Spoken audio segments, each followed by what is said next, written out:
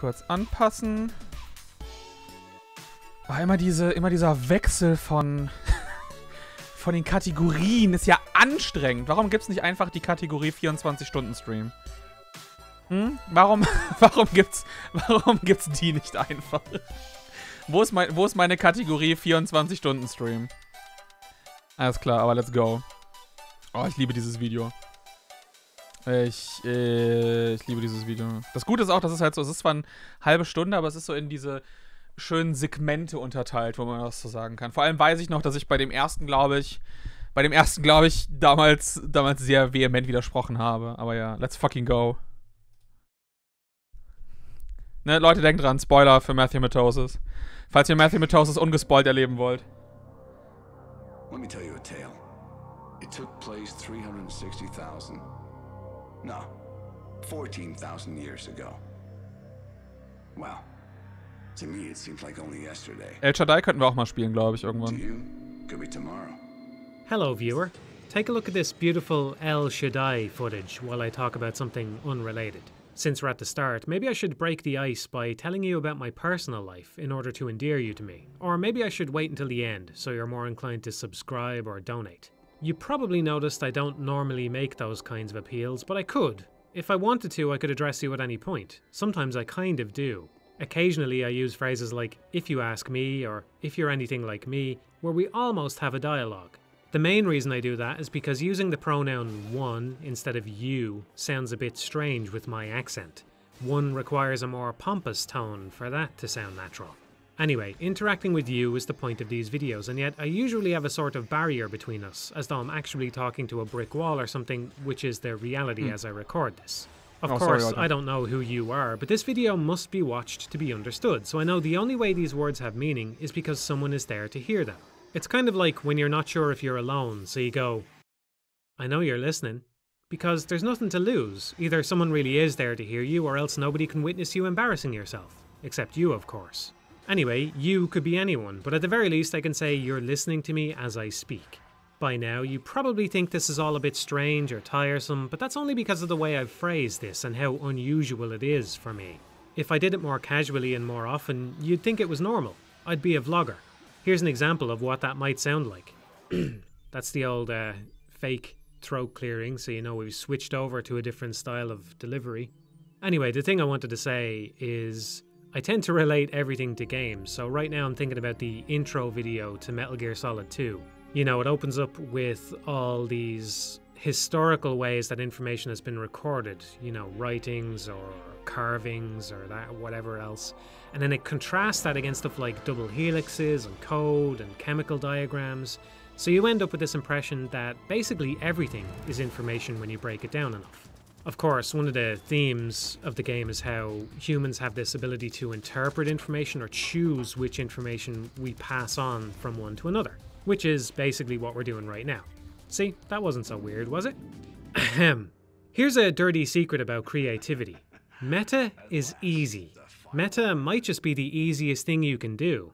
Actors spend their whole careers resisting the urge to look at the camera. Going meta just means giving in to those natural temptations.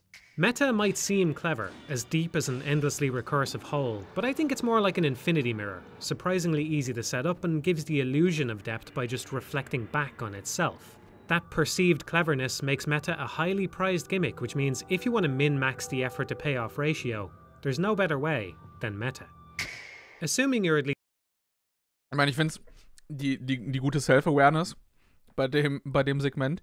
Aber ich kann einfach, also ich kann zustimmen aus dem Punkt heraus, dass wenn du Meta einfach nur ähm, bezeichnest als du, äh, du, du quasi acknowledgest, dass ne, dass, dass Leute da sind und sprichst direkt in die Kamera und referenzierst dich irgendwie selbst und sonst was.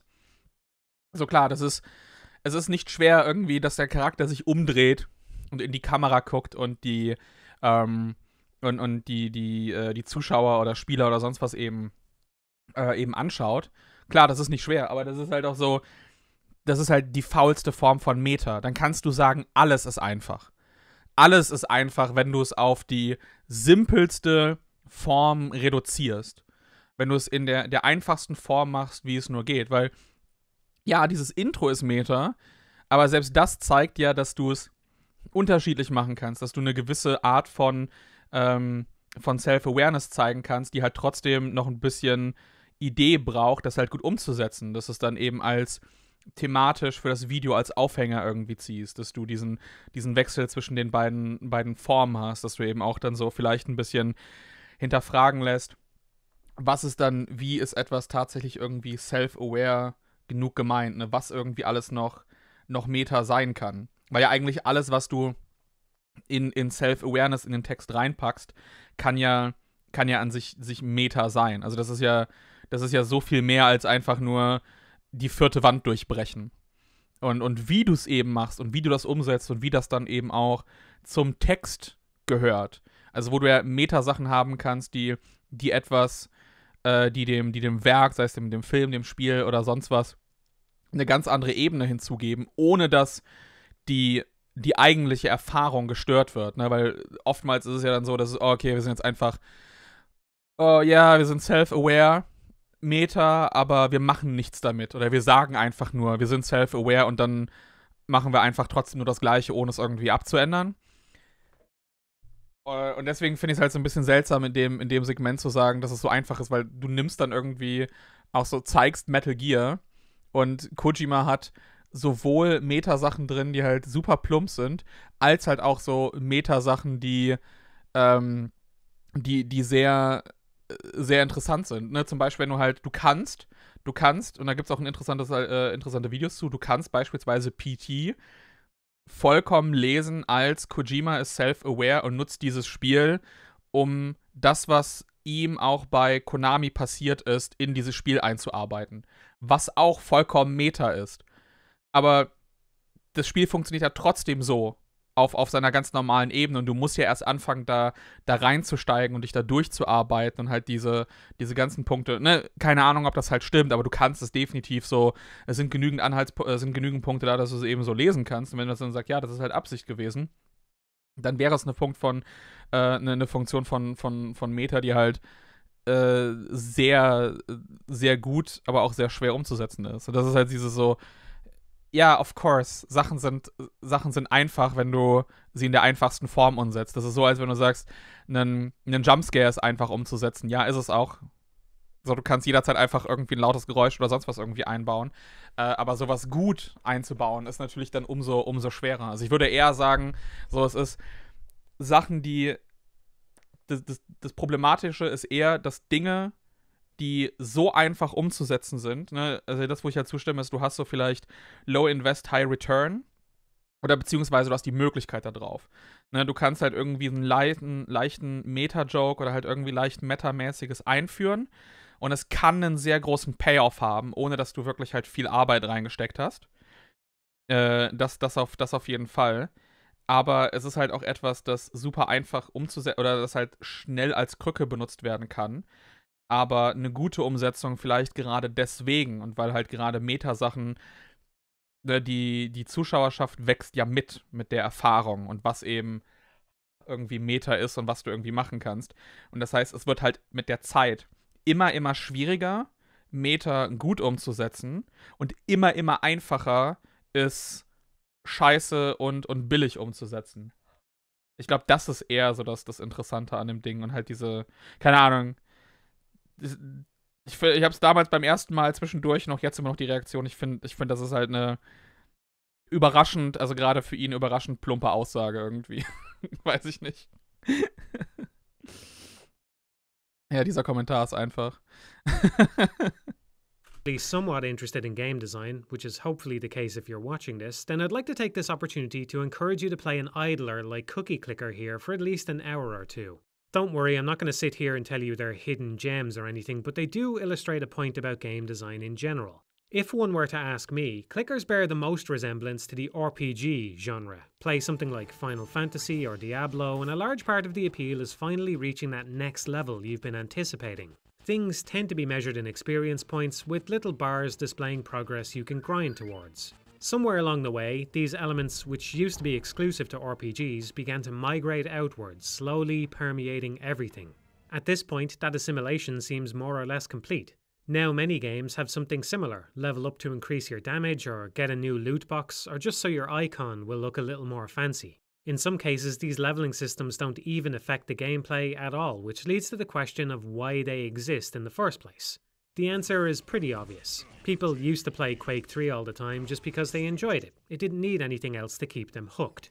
Now, if we imagine two identical versions of Quake happen to release on the same day, one with a progress system and one without, it's easy to guess which one would win a larger player base, even if both audiences were still small. While some players won't care about the difference, others will be drawn to the progression system, in which case that version has a greater chance of surviving, while the more minimalist one fades into irrelevancy. Economics fuel much of this problem. With a progression system comes unlockables, and with unlockables comes microtransactions to acquire them immediately. That income can be used to extend development, updating the game with more content, providing a feedback loop of success.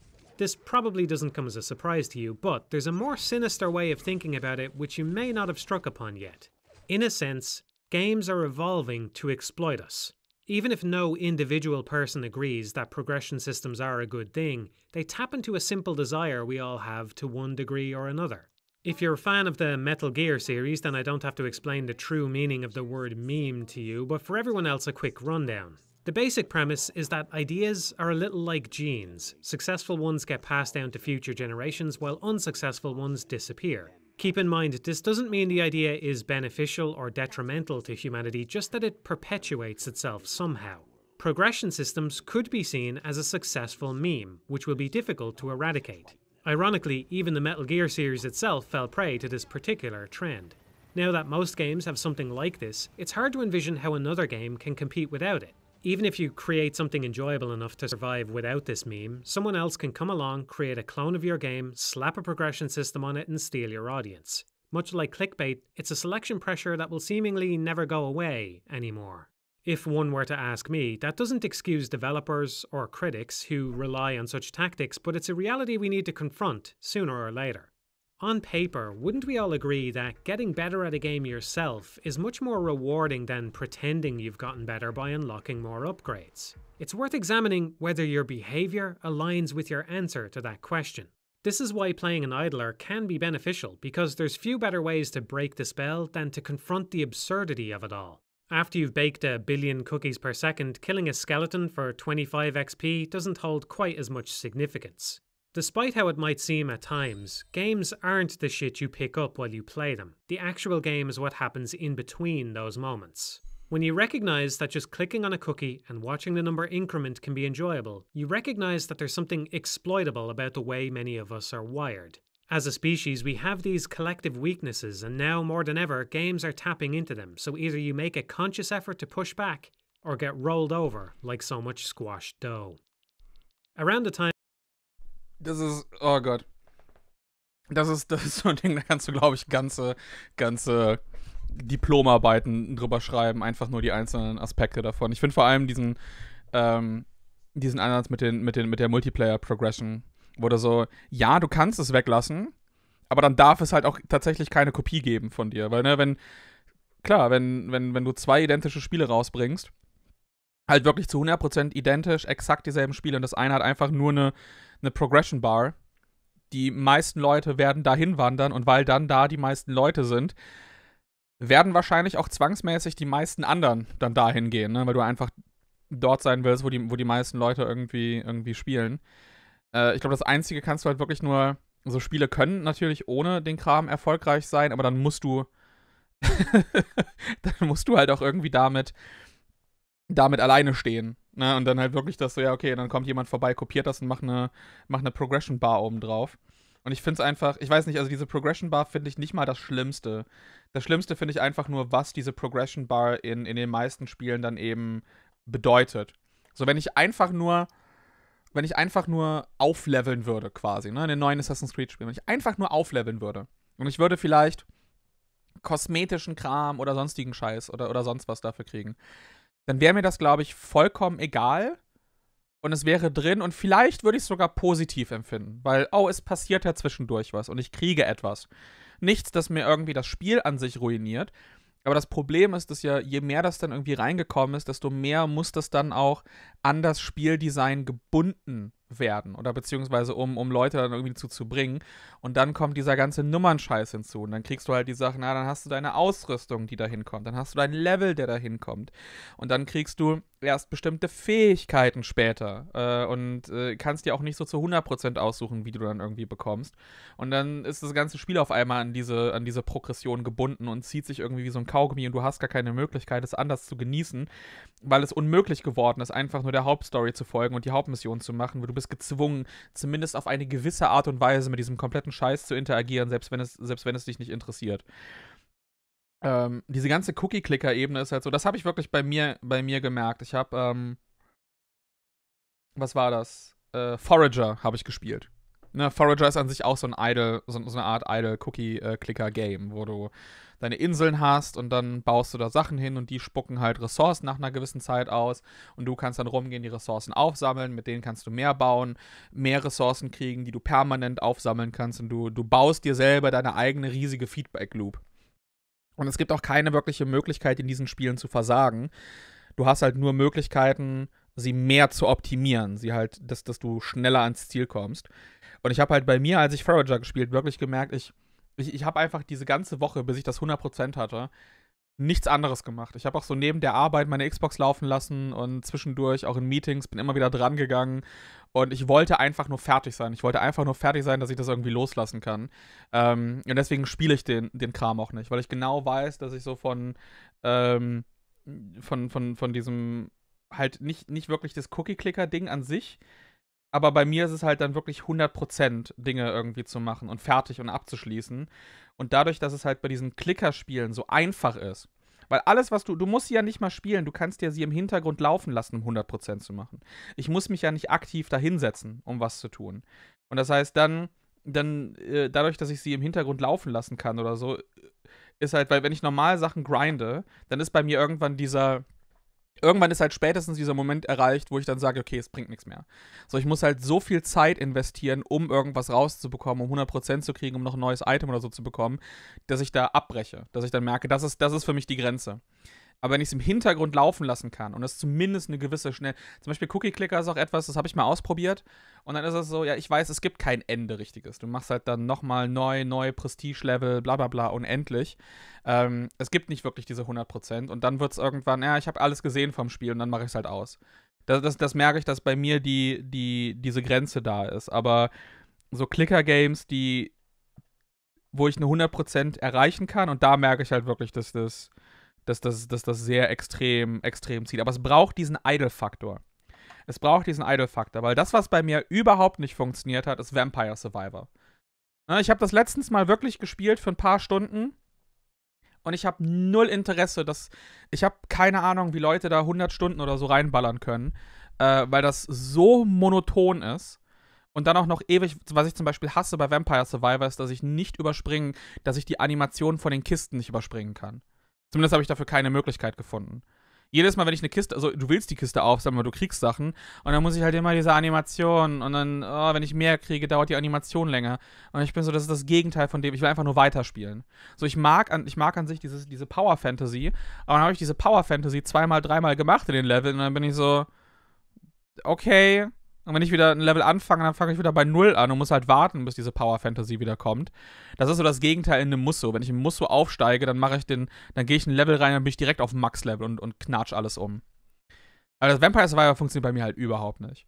Ähm, aber ja, ich, ich finde ich, ich, aber ich glaube, aus der Perspektive ist es halt wirklich interessant zu sehen, für einen persönlich, so wie man auf bestimmte Titel reagiert, wie man auf bestimmte Progression Progression-Sachen reagiert, um vielleicht auch so für sich selber herauszufinden, was ist eigentlich wirklich der Kern da dran, der mich, ähm, der mich interessiert. Weil an sich würde ich auch, stimme ich auch vollkommen zu, dass selber in etwas besser zu werden wesentlich interessanter ist. Es ist halt nur schwerer. Ja, ich wollte gerade, ich, wollt, ich bin da gerade dabei für Patreon nochmal ein Video zu, zu machen, auf dieses, Verita äh, wie, auf dieses Veritasium-Ding einzugehen in Bezug auf Spiele. Aber wenn du halt in etwas besser werden willst, ne, diese vier Faktoren, die in dem Video genannt werden. Und eines davon ist es, dich eben kontinuierlich an die un in den unangenehmen Bereich zu, zu reinzugehen. Du musst halt, um besser zu werden, kontinuierlich deine Grenzen überschreiten. Und halt in einem Bereich agieren, der out of reach ist. Wo du permanent nicht, also wo du zwar ganz okay bist, aber Probleme hast. Und da musst du dich permanent reinbegeben und immer und immer wieder, um besser zu werden. Ähm, und das ist halt, ne, gerade wenn du einfach so spielen, einfach nur als Pastime, okay, ich will einfach nur, ich will einfach nur entspannen, ich will mich irgendwie berieseln lassen oder sonst was, dann ist es natürlich, natürlich nichts, was du willst. Das heißt, ich finde es auch, ich habe Phasen, wo ich halt gerne irgendwie, okay, da will ich jetzt drin besser werden und jetzt gefordert werden. Und dann habe ich Phasen, ich will jetzt einfach ein Spiel spielen, was ich kenne. Was ich schon tausendmal gespielt habe, so dieses 30, 20, 25 Minuten Aladdin 100% durchspielen.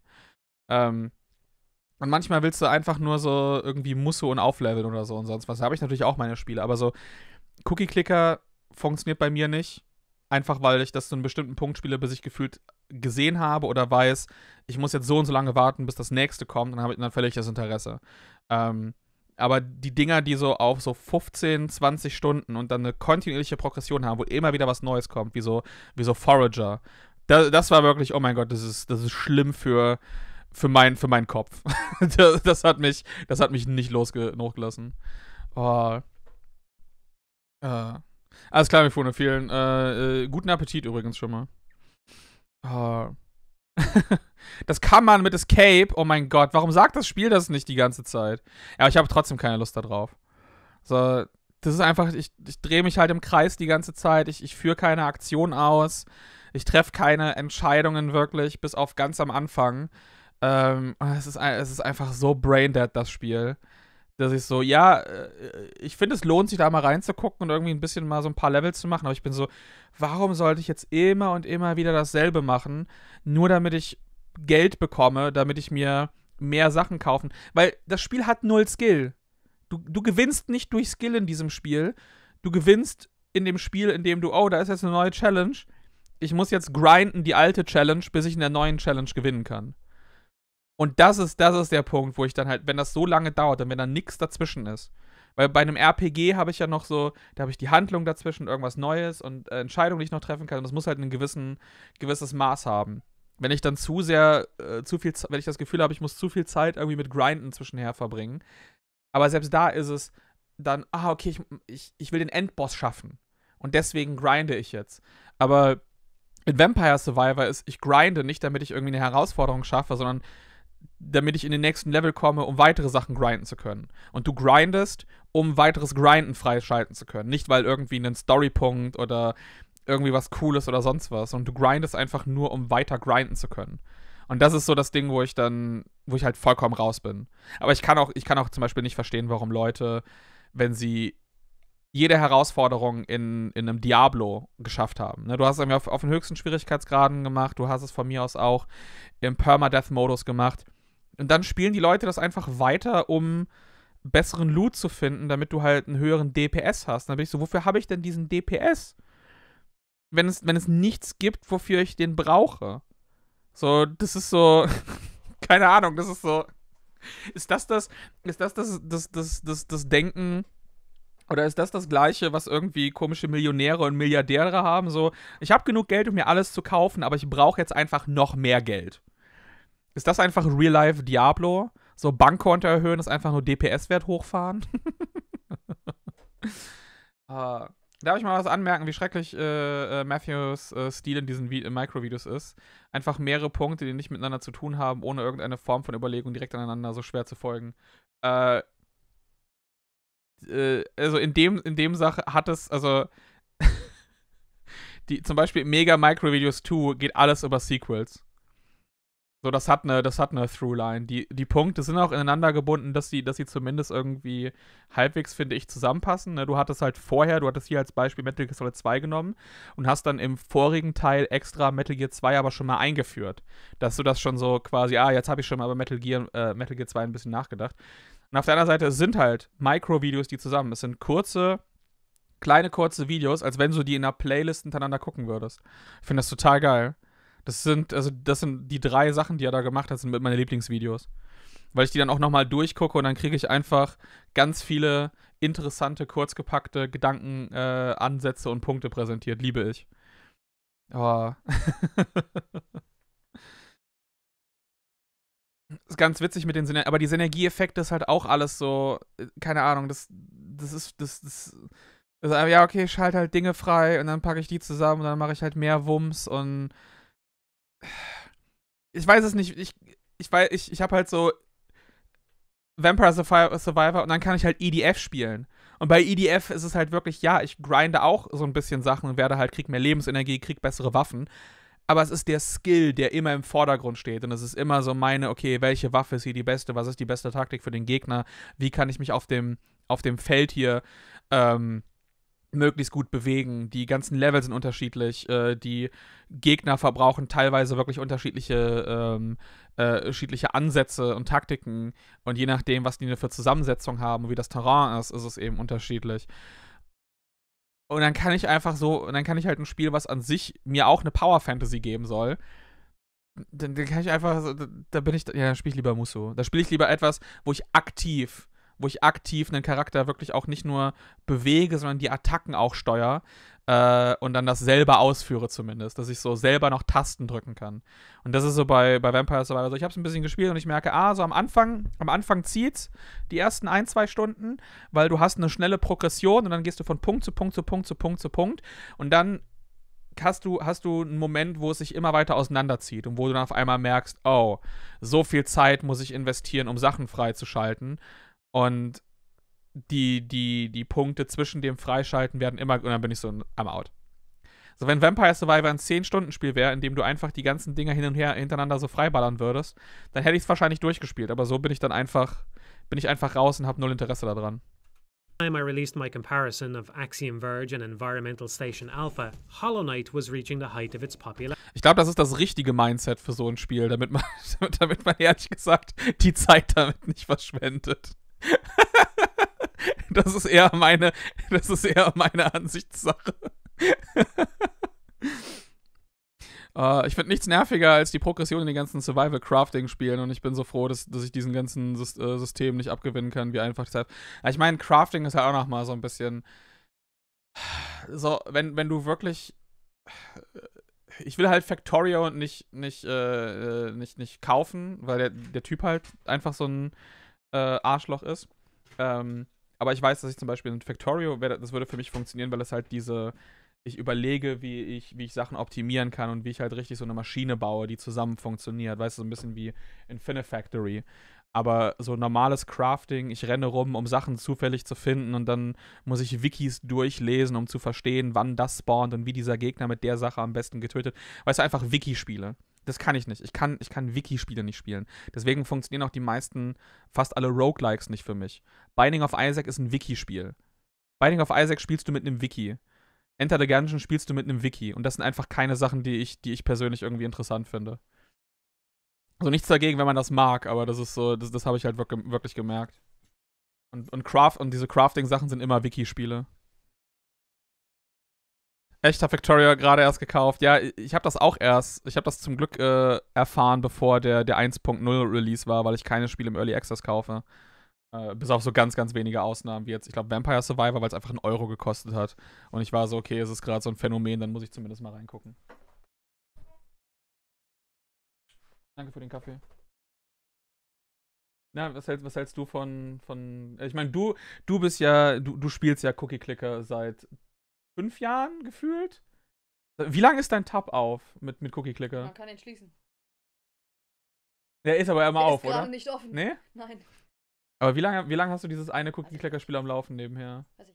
Machst du da eigentlich aktiv? Ist das dann Nö. so weit wie du bist, dass es einfach noch läuft und zwischendurch machst du mal Ich mach's zwischendurch mal auf. und dann klickst du irgendwie was und dann gehst du, dann machst du es wieder zu, ne? Ja. So, ich guck da, ich guck da manchmal auf den, auf den. Still, still want a game? Yes. Und dann schließe ich den Tab. Ah. Wundert mich, dass du, dass du Isaac nicht mehr spielst. Dass du das, du hast das früher so sehr häufig. Ja, weil das auf, weil mein MacBook dann immer so. Ja, aber jetzt kann dein MacBook das ja problemlos Ja, spielen. trotzdem, der wird, einfach heiß. Ja? Ja, ja. Aber ich meine, du könntest es auf der, auf der Playstation nach unten spielen. Ja. Ich spiele es nur auf WASD. Ja, okay, das kann ich, das kann ich. Das, aber wird der Laptop selbst, also auch das, das aktuelle MacBook, das wird bei, das wird bei Binding of Isaac warm? Ah, okay. Deswegen, ich glaube, du, ich glaub, du hättest Spaß an Vampire Survivor. Wo es einfach nur WASD und die Attacken werden automatisch ausgeführt und Dinge, Dinge explodieren. Als nächstes möchte ich halt. Weil ich Trombone Champ. Trombone Champ. Ja, das habe ich noch, das habe ich noch installiert. Ja. Das habe ich äh, durchgespielt Would like to try. und dann war ich so, ja, it's a shit rhythm game. Because, I- because I do know the music. Aber bei, genau bei Trombone Champ war das nämlich genauso. Da habe ich dann gemerkt, um das nächste, um die nächste Sache freizuschalten, brauche ich immer nur so ein ganz kleines bisschen. Also habe ich das noch gemacht.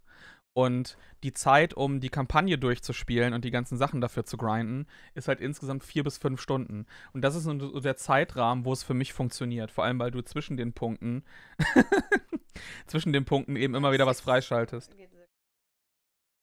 das ist es wirklich, wenn ich immer so die, wenn, wenn die, die nächste Sache, die ich machen und freischalten kann, nah genug dran ist, dann bin ich immer noch so, okay, das noch und das noch und das noch und das noch. Und irgendwann habe ich das dann 60 Stunden gespielt. Oder beziehungsweise, was war das? Sonic, Sonic Forces 30, 40 Stunden 100% gemacht, weil ich so, ja, ich mache nur die Collectibles. Dann habe ich die nächsten Collectibles freigeschaltet. Ja, dann kann ich ja die nächsten Collectibles auch noch machen. Und dann schaltest du nochmal Collectibles frei. Ja, dann kann ich ja auch noch machen. Ja, jetzt fehlen mir ja nur noch die Ringe farmen. Jetzt habe ich schon 30 Stunden gespielt, jetzt kann ich auch noch 4 Stunden Ringe farmen. So. so für, bei mir ist es schlimm, wenn einfach ein Punkt zum nächsten führt. Aber sobald, sobald ich irgendwie merke, ich brauche sofort 100 oder 200 Stunden oder ähm, ich schalte am Anfang viel frei und habe Progression und dann zieht sich das wie ein Kaugummi, dann bin ich sofort raus. Dann, dann ist es wirklich, dann spiele ich es nicht mal mehr durch. Dann bin ich einfach, okay, bye, I'm out.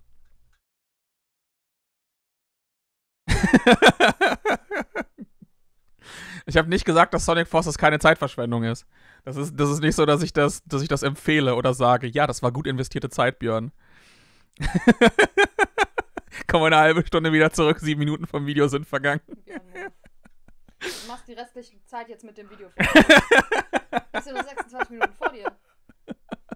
Das geht ja, wenn du, wenn du mich die ganze Zeit jetzt so boxst. Aber ich meine, das ist halt ein Ich Punkt, da kann, das ist halt ein Punkt, da kannst du, da kannst du halt einfach die ganze Abhandlung drüber schreiben.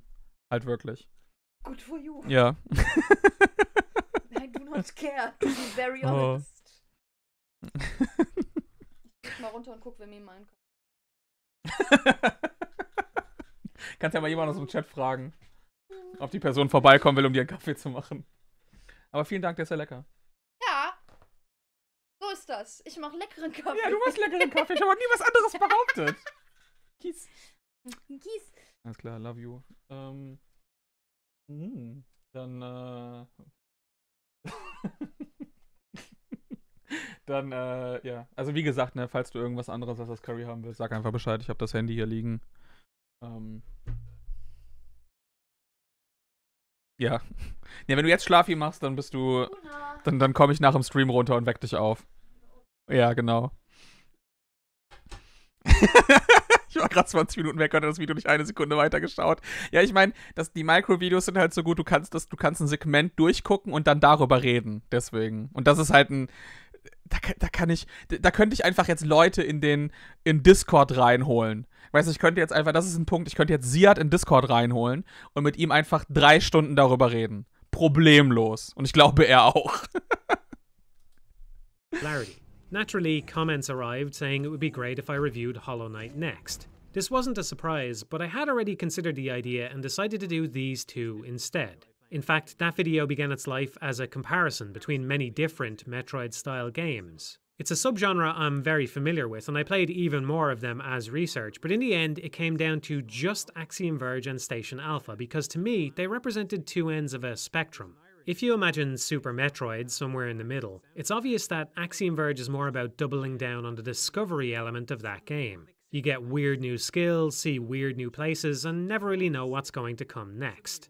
By contrast, Station Alpha is more straightforward, but it offers a better challenge, which enhances the feeling of being dropped into a harsh alien landscape while struggling to stay alive. If you watch my comparison, you'll see there's more nuance to both games, but that's about the gist of it. Hollow Knight falls much more firmly into that second category. It doesn't have any groundbreaking skills or reveals, but it does have a close range weapon which is used to fight a lot of good bosses. It's not as though there's nothing more to be said about Hollow Knight. The map system in particular is noteworthy. While there might be some better iteration on this idea waiting to be discovered, it's nice to see a developer address the problem of players spending too much time staring at a map rather than the actual contents of the world. This is something I'd be happy to see exported to other entries in the genre. Conversely, while I'd be perfectly fine without any RPG elements in these games, I think the charm system presented a reasonable enough middle ground. It offers meaningful options without a bunch of boring number crunching or excessive menu use.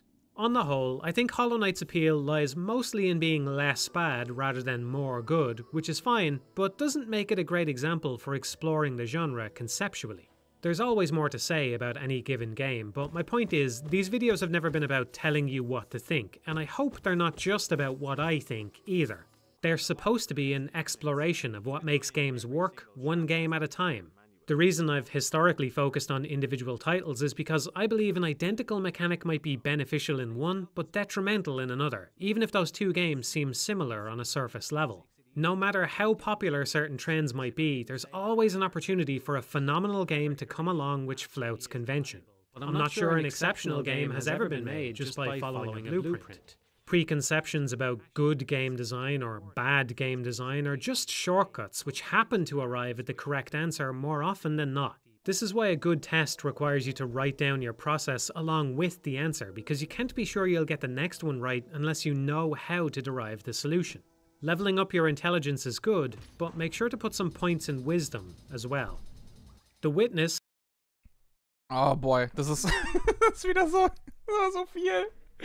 Oh, wir finden Super Metroid Superior.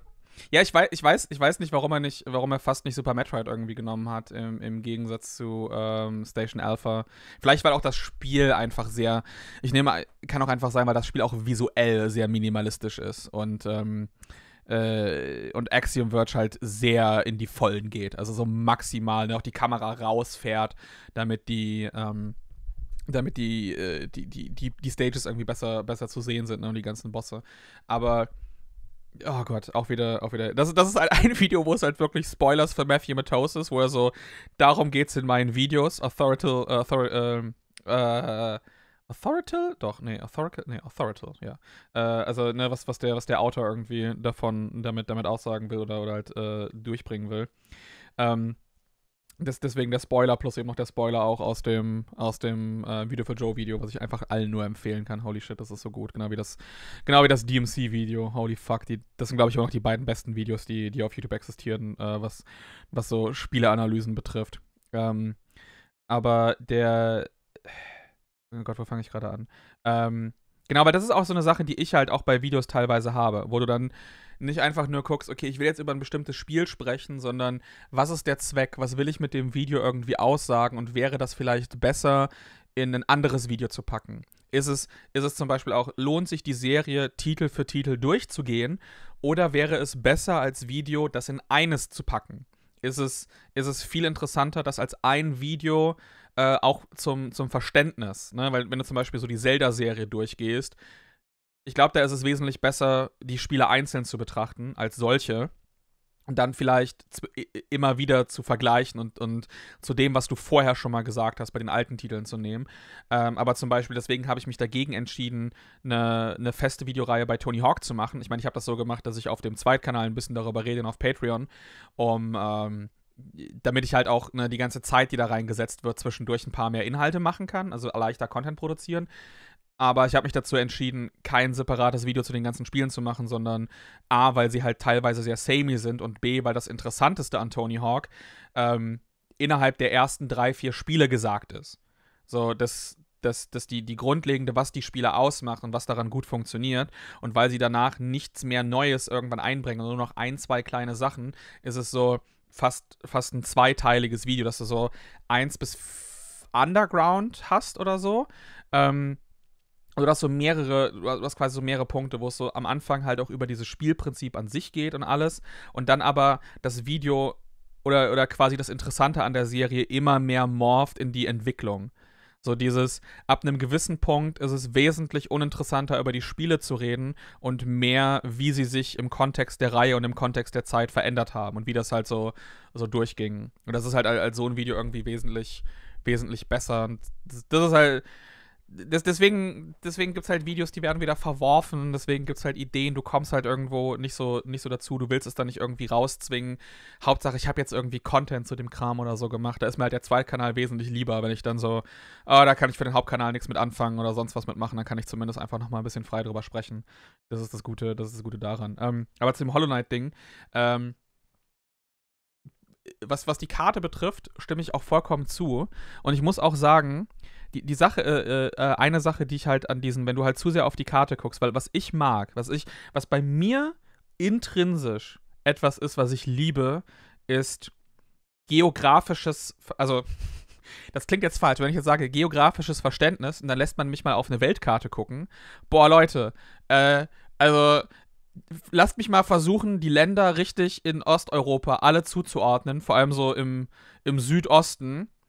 Oh boy, kann ich mich da blamieren, ne? Also, das meine ich nicht mit geografischem Verständnis, sondern eher so dieses so Spatial Awareness-mäßige. So, ich liebe das, einen Raum zu erkunden und dann irgendwie zu verstehen, wie der zusammenhängt.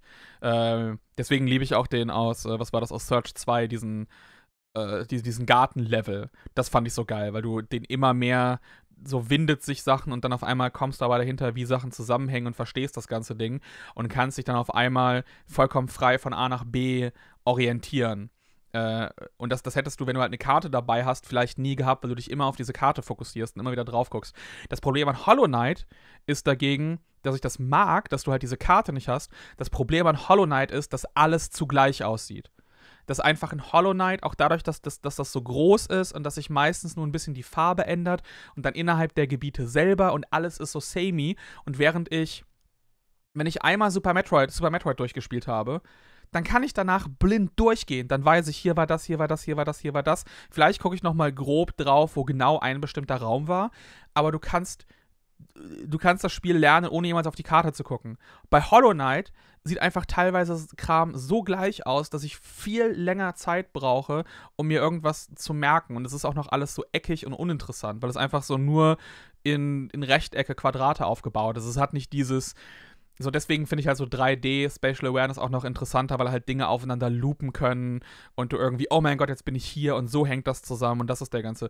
Das ist, das ist Kram, den ich, den ich halt wirklich liebe. Und deswegen finde ich das auch so gut, dass dann gewisse Spiele halt keine, keine Karte überhaupt haben. Oder du schaltest irgendwie am Ende erst eine Karte frei vielleicht.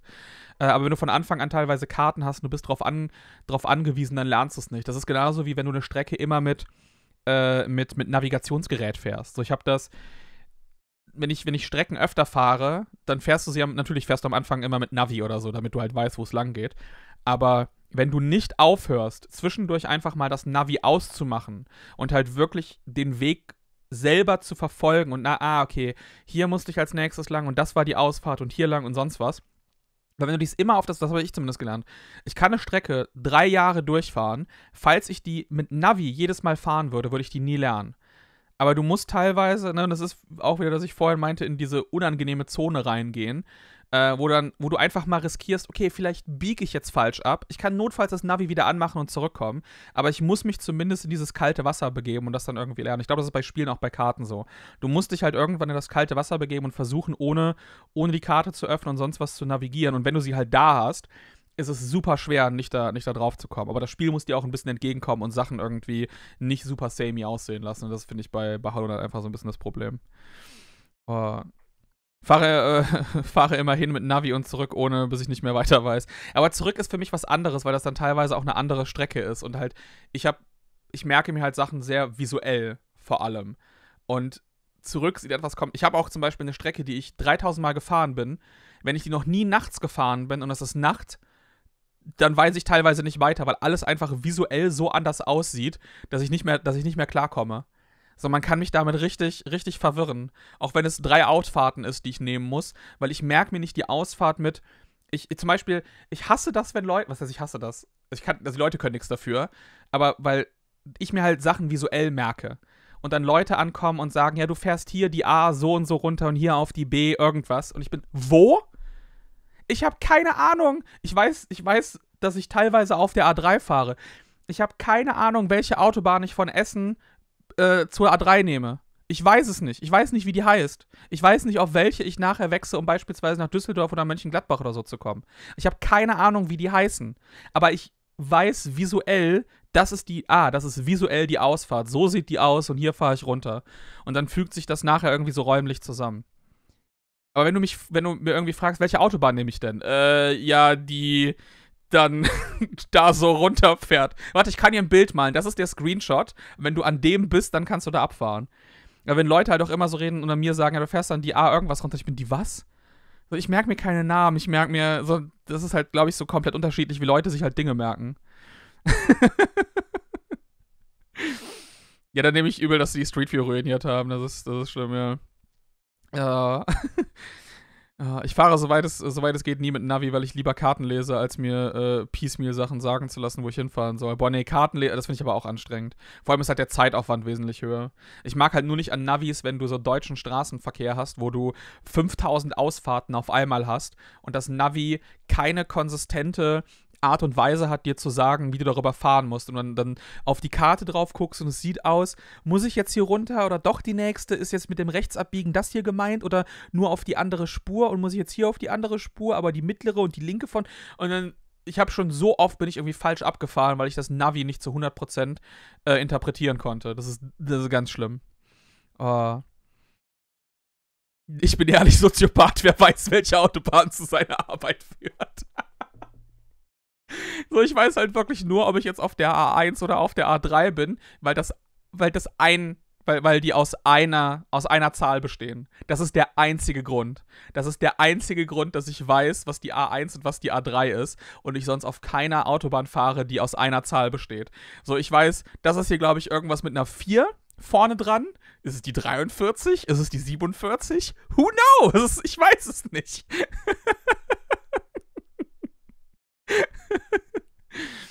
oh, Städtefahren ist auch immer schlimm. Uh, naja, Karten lesen gleich vorher, die Route gucken und sich da die Sachen merken. Ich glaube, das ist so ein, ein Core-Lebensskill für den. Ja, ich meine, ich habe das halt früher auch so gemacht. Hm. Vor, vor Navi. Ich hatte noch so eine ganz kurze Zeit. Also, da gab es zwar schon TomTom und so, aber äh, es gab noch eine, eine, bestimmte, eine bestimmte Zeit, bevor es dann wirklich einfach wurde mit auch. Ähm, weil ganz am Anfang war zum Beispiel Google, ähm, das Navigieren über Google Street, das war früher noch eine Katastrophe. Da hattest du noch nicht diese Navi-Ansicht, sondern du musstest wirklich top-down und hast einfach nur diesen blauen Strich, der immer kürzer folgt. Und musstest, das war quasi, äh, mit Google als Navi, Google Street als Navi benutzen, das war früher wie, äh, äh, wie, wie in GTA oder so. Dass du einfach diese Linie so vor dir hast, aber du, du nicht wirklich erkennst, du halt nicht gesagt bekommst, jetzt gleich links, jetzt gleich rechts und es, und es passt sich dir an, sondern wirklich einfach nur, es bleibt statisch und du, du musst halt selber gucken, das war was schlimm. Und da habe ich halt auch noch oft mir die Strecken dann halt wirklich so lang, lang äh, äh, angeguckt, aber mittlerweile bin ich, ich fahre mit Navi und wenn ich die Strecke dann nochmal fahre, dann versuche ich bis dann versuche ich, solange ich mich sicher fühle, das Navi zu benutzen, weil ich dann, zumindest wenn ich Zeit habe und jetzt nicht irgendwie unter, unter Druck stehe, ähm, dass ich dann einfach nur, nur weiter äh, äh, dann halt riskiere. Okay, wenn ich jetzt falsch ab, äh, abbiege, ich kann jederzeit das Navi anmachen, das führt mich wieder zurück. Das geht so. Uh, ich finde Kartenlesen viel angenehmer, äh, weil man einen Überblick hat und nicht nur diesen, diesen winzigen Ausschnitt, der gerade mal wieder von, von einem Stau in der Baustelle sonst was blockiert ist. Ich meine, ich will mich, ich will mich ja die meiste Zeit gar nicht. Ich will ja einfach nur ankommen. Ich will einfach nur ankommen. Ich will, ich will möglichst gedanklich irgendwo anders sein, außer beim Autofahren. oh. Suspekt ist, die ich hier getroffen habe, die setzen sich auch zum Busfahrer. Ja, wenn mir, wenn mir jemand sagt, links am Dönerplanet vorbei, ist es einfacher als ja an der Goethestraße 42, Digga, wo ist die. Ja, genau. Genau, ich, wenn du mir sagst, da irgendwie, wenn du vorne, wenn du frontal irgendwie aufs Kino guckst und dann rechts beim Kino die Straße rein und dann vor dem Ikea wieder rechts rein. Weißt du, da lang, anstatt, ja, du fährst jetzt hier irgendwie den Kreisel, die dritte raus und dann äh, auf die und die Straße. Als ob ich mir beim Autofahren irgendwo einen Straßennamen angucke. Da habe ich doch A, die Zeit nicht und B, je nachdem, wie du lang fährst, bist du so, kann ich es überhaupt lesen? oh, ja, natürlich, das ist ja das. Ich liebe, ich liebe den, die äh, äh, Spencer-Menschen aus Resident Evil 1 und ich liebe die Welt, also quasi Anna Londo finde ich halt lange nicht mehr so interessant wie alles, was davor ist. Deswegen, das, das, das liebe ich halt aus den, aus den beiden Spielen, so die Welt zu erkunden. Deswegen liebe ich diesen Abschnitt aus ähm, aus The Search 2, die sagt, dieses Gartengebiet. Das ist das, das ist das Beste, was die deutsche Spieleindustrie jemals gemacht hat. Das ist, das ist Peak. Das ist, das ist der Peak. Wir haben, das ist der Zenit, den deutsche, den deutsche Spieleentwicklung erreicht hat. Und da ist seitdem auch nichts mehr drüber gekommen.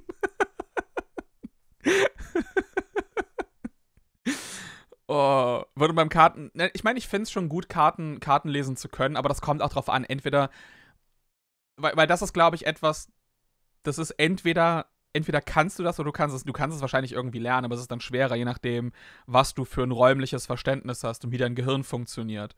So zum Beispiel, bei, für mich ist Kartenlesen auch relativ, äh, ist nicht so schwer oder ganz angenehm, weil ich mir das dann visuell merken kann und weil ich dann so in meinem Kopf die Karte habe und dann fahre ich durch und dann hake ich diese Punkte ab und es ist so, okay, ich weiß, ah, das war die lange Straße, da waren jetzt drei Kreuzungen und an der vierten biege ich ab und dann fahre ich an den Kreuzungen vorbei und in meinem Kopf ist halt, und in meinem Kopf findet das Navi statt und dann, dann stelle ich mir quasi so vor, wie ich auf dieser Karte entlang fahre und diese, die Punkte halt abhake, bin ich, äh, bis ich da bin.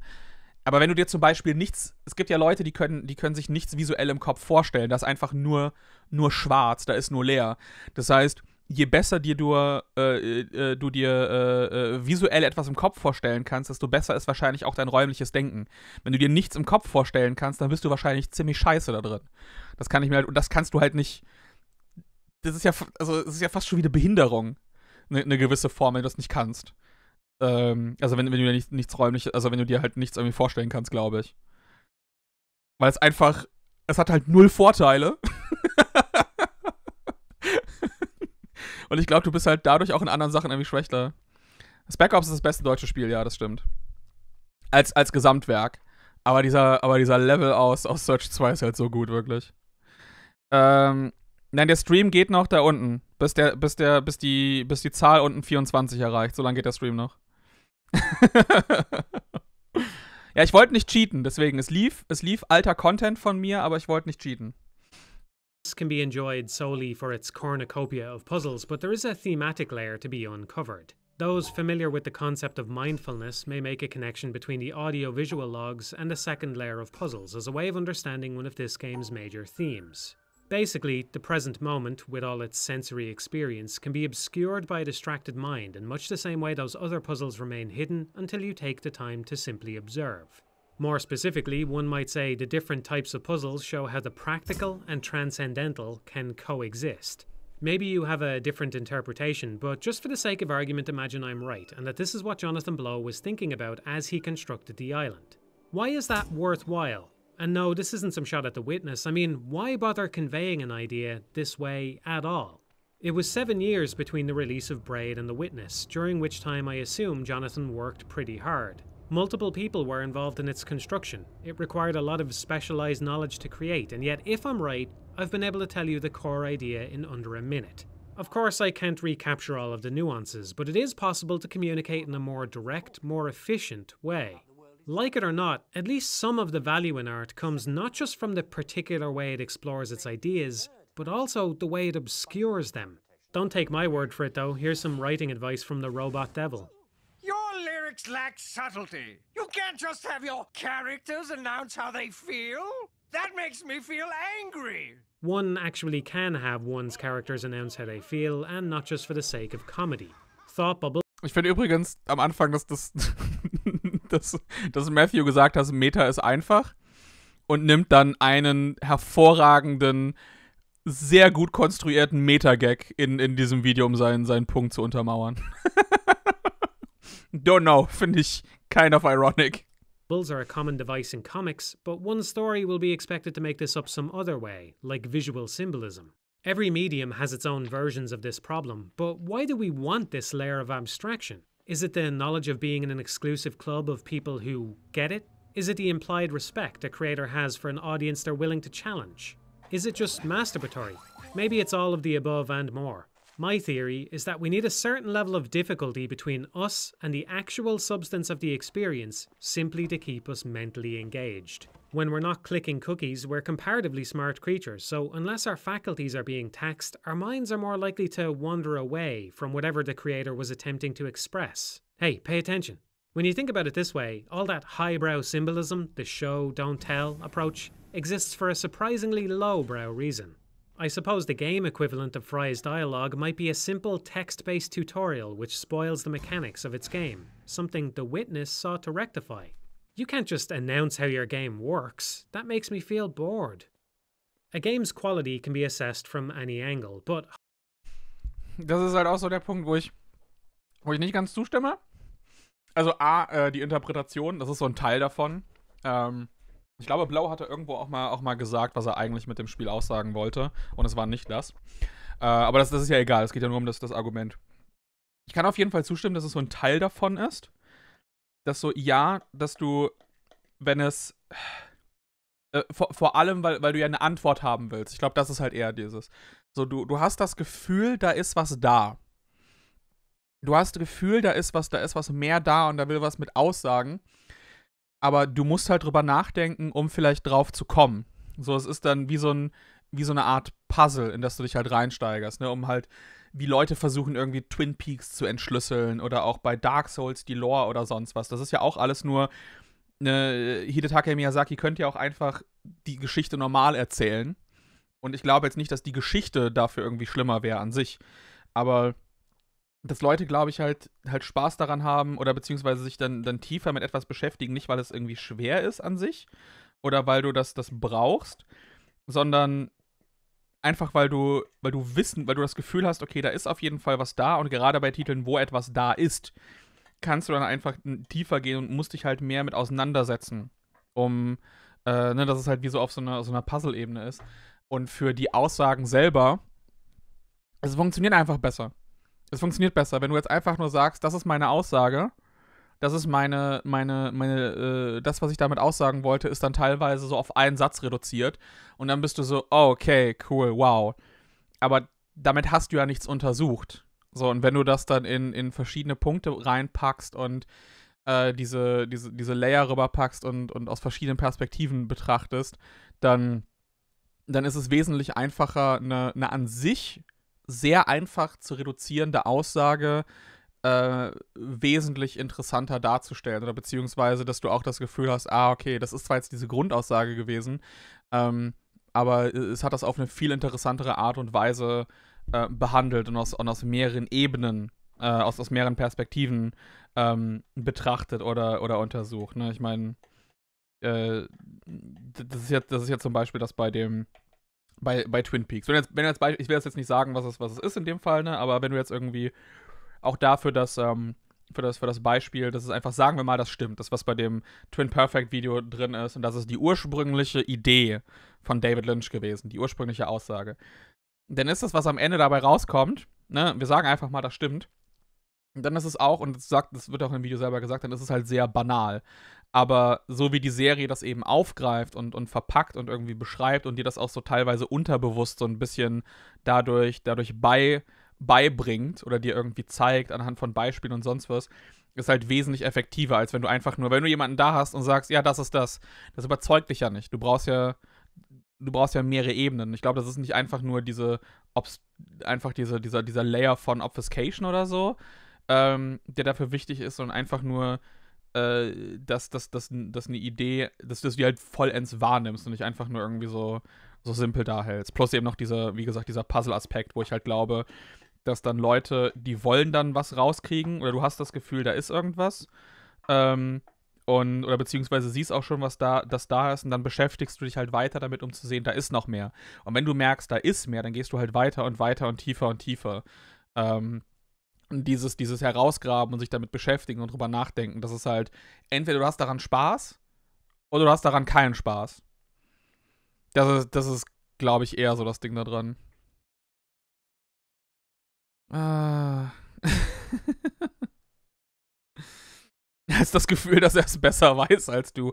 Ja, das, das weiß ich, das weiß ich nicht. Also ich muss sagen, ich finde die, ich finde die Sachen, die in, in, in ähm, in The Witness drin sind, aber äh, Witness hat auch mehrere, äh, versucht halt mehrere Sachen äh, rüberzubringen oder beziehungsweise Ideen darüber, nach, äh, darüber nachzudenken.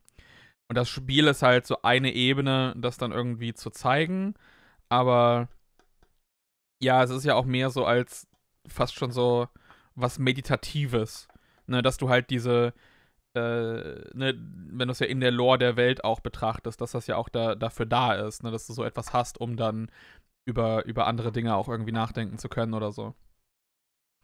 Was wurde, wurde das jemals angekündigt? Braid Remastered? Braucht das die Welt überhaupt? Braid ist doch, sieht doch immer noch auch gut aus.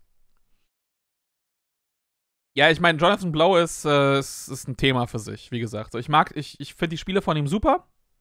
Und da arbeiten ja auch noch andere Leute dran, also gerade an The Witness und so. Ich bin auch sehr interessiert an diesem neuen Sokoban-Spiel, was er da irgendwie macht. Mit, mit, seine, mit seinem Team. Aber äh, ja, der Typ selber mit, wie gesagt, das hatte ich gestern schon mal, schon mal gesagt, der ist halt so äh, Silicon Valley Tech Bro Libertär. Wo es halt wieder dieses, äh, äh, I'm, I'm a Libertarian, ähm, äh, ne, äh, bis, bis du irgendwie auf ein Problem triffst, was, was mein Privileg und was mein Geld nicht einfach wegspülen kann. Wo es so, ja, äh, Global Warming ist kein Problem, weil wir haben das ja schon gelöst. Und wenn nicht, dann, dann werden wir Techniken erfinden, die das lösen. Und dann so, ja, schön, Jonathan. Das sind dann Sachen, die, die dir helfen in San Francisco. Äh, du, der auch genügend Geld hast, um, um irgendwelche äh, ökonomischen Probleme einfach durchzustehen. Die Leute, die in Gebieten wohnen, bei denen jetzt schon das halbe Land beispielsweise unter Wasser steht. Ich weiß nicht, ob das denen so, so geholfen hat. Das die Tatsache, dass wir es ja schon irgendwie gelöst haben. Not sure about that one, Chief. ja. Braid Anniversary wurde 2020, an, 2020 angekündigt. Ja, vielleicht wird einfach ein komplett neu. Ich könnte mir auch vorstellen, dass es einfach, du gehst dann so zurück, willst ein Remastered machen und auf einmal ist es so, ich habe doch mehr Sachen, die ich daran ändern will und dann ist es ein neues Spiel. Das kann auch sein. Äh. ich finde die Videos alle interessant, weil ich meine, es gibt dieses eine, eine Ding, wo ich halt wirklich, was auch viel zu lang geht, wo ich halt denke, der Typ hat halt echt eine der Klatsche. Aber ich finde es trotzdem so thematisch passend zusammen, äh, äh, zusammenhängt, Dinge eben aus mehreren Perspektiven auch, auch zu betrachten. Ne? Ähm, ich meine, dieses Mindfulness gehört auch auf einer gewissen Ebene dazu, aber es ist halt nicht das, nicht, nicht das, nicht das Einzige. Also ich glaube, ich weiß nicht, ob du The Witness überhaupt auf eine, auf eine singuläre Idee irgendwie reduzieren kannst. Das ist halt so, das, das kannst du halt bei vielen Sachen auch nicht machen. Ja, genau. Hopefully, we can all agree that it would be misguided to review Sekiro as though it were a puzzle game. That notion is absurd because every game is bad in an endless number of things and only good in the few ways it was crafted to be. Sekiro is a terrible racing game, it has no turn based strategy, and it's a lackluster platformer. Rather than critiquing it for failing in those areas, we're better off examining it based on what it does well. That might sound too lenient, but we can invoke similar games as a guideline for what level of quality can be expected. When I first started reviewing games, I would try to imagine what the developers were going for and judge it based on those merits. This isn't the right reasoning, but it was close to being the right approach. In order to begin critiquing something, what you need more than anything else is a reference point. Imagine you spent your entire life blind up until this very instant. If I locked you in a room with Sekiro the moment you gained vision, you'd be able to play it, but would you be able to give an adequate review? Nobody could stop you from relaying your subjective experience, and it might even be interesting to hear such a unique perspective, but it probably wouldn't provide a useful assessment for those of us with decades of experience to pull from. In all likelihood, you'd be far more impressed by the graphics than anyone else, which would be totally justifiable from your perspective, but not useful information. There could be all kinds of things you don't know about games, like the fact that guards could follow snowy footsteps as early as the PS1, or that some titles drop the pretense of being anything but a boss rush. Comparisons like this can be helpful because every game is ultimately competing against every other game for a player's time. When I would imagine what the developers were going for, what I was really doing was drawing on a lifetime of knowledge to arrive at the most charitable interpretation of a game. Doesn't always sound that way, given how pedantic I can be at times, but if I can find fault with Devil Daggers or Obra Dinn, then nothing is going to emerge unscathed. My point is, in order to know what a game is good at, you have to know what games are capable of. You need a baseline, and the more you play, the more accurate your baseline becomes. I would even say that playing games alone isn't enough. After all, it seems foolish to review a visual novel without ever having read a book. If one were to ask me, I'd say there's a lot more to a good critic than just consuming a bunch of media, but it's a necessary part of the equation. Perhaps this theory sounds flawed, or as though it could just be one of many approaches to criticism. For example, you might be thinking it's not my place to decide what a game is good at. There's definitely gaps in my knowledge, and we're all capable of making mistakes. Maybe it really is less than ideal. Maybe there is a more detached way of reviewing everything, but I'm going to assert that such an assessment is beyond the grasp of human beings.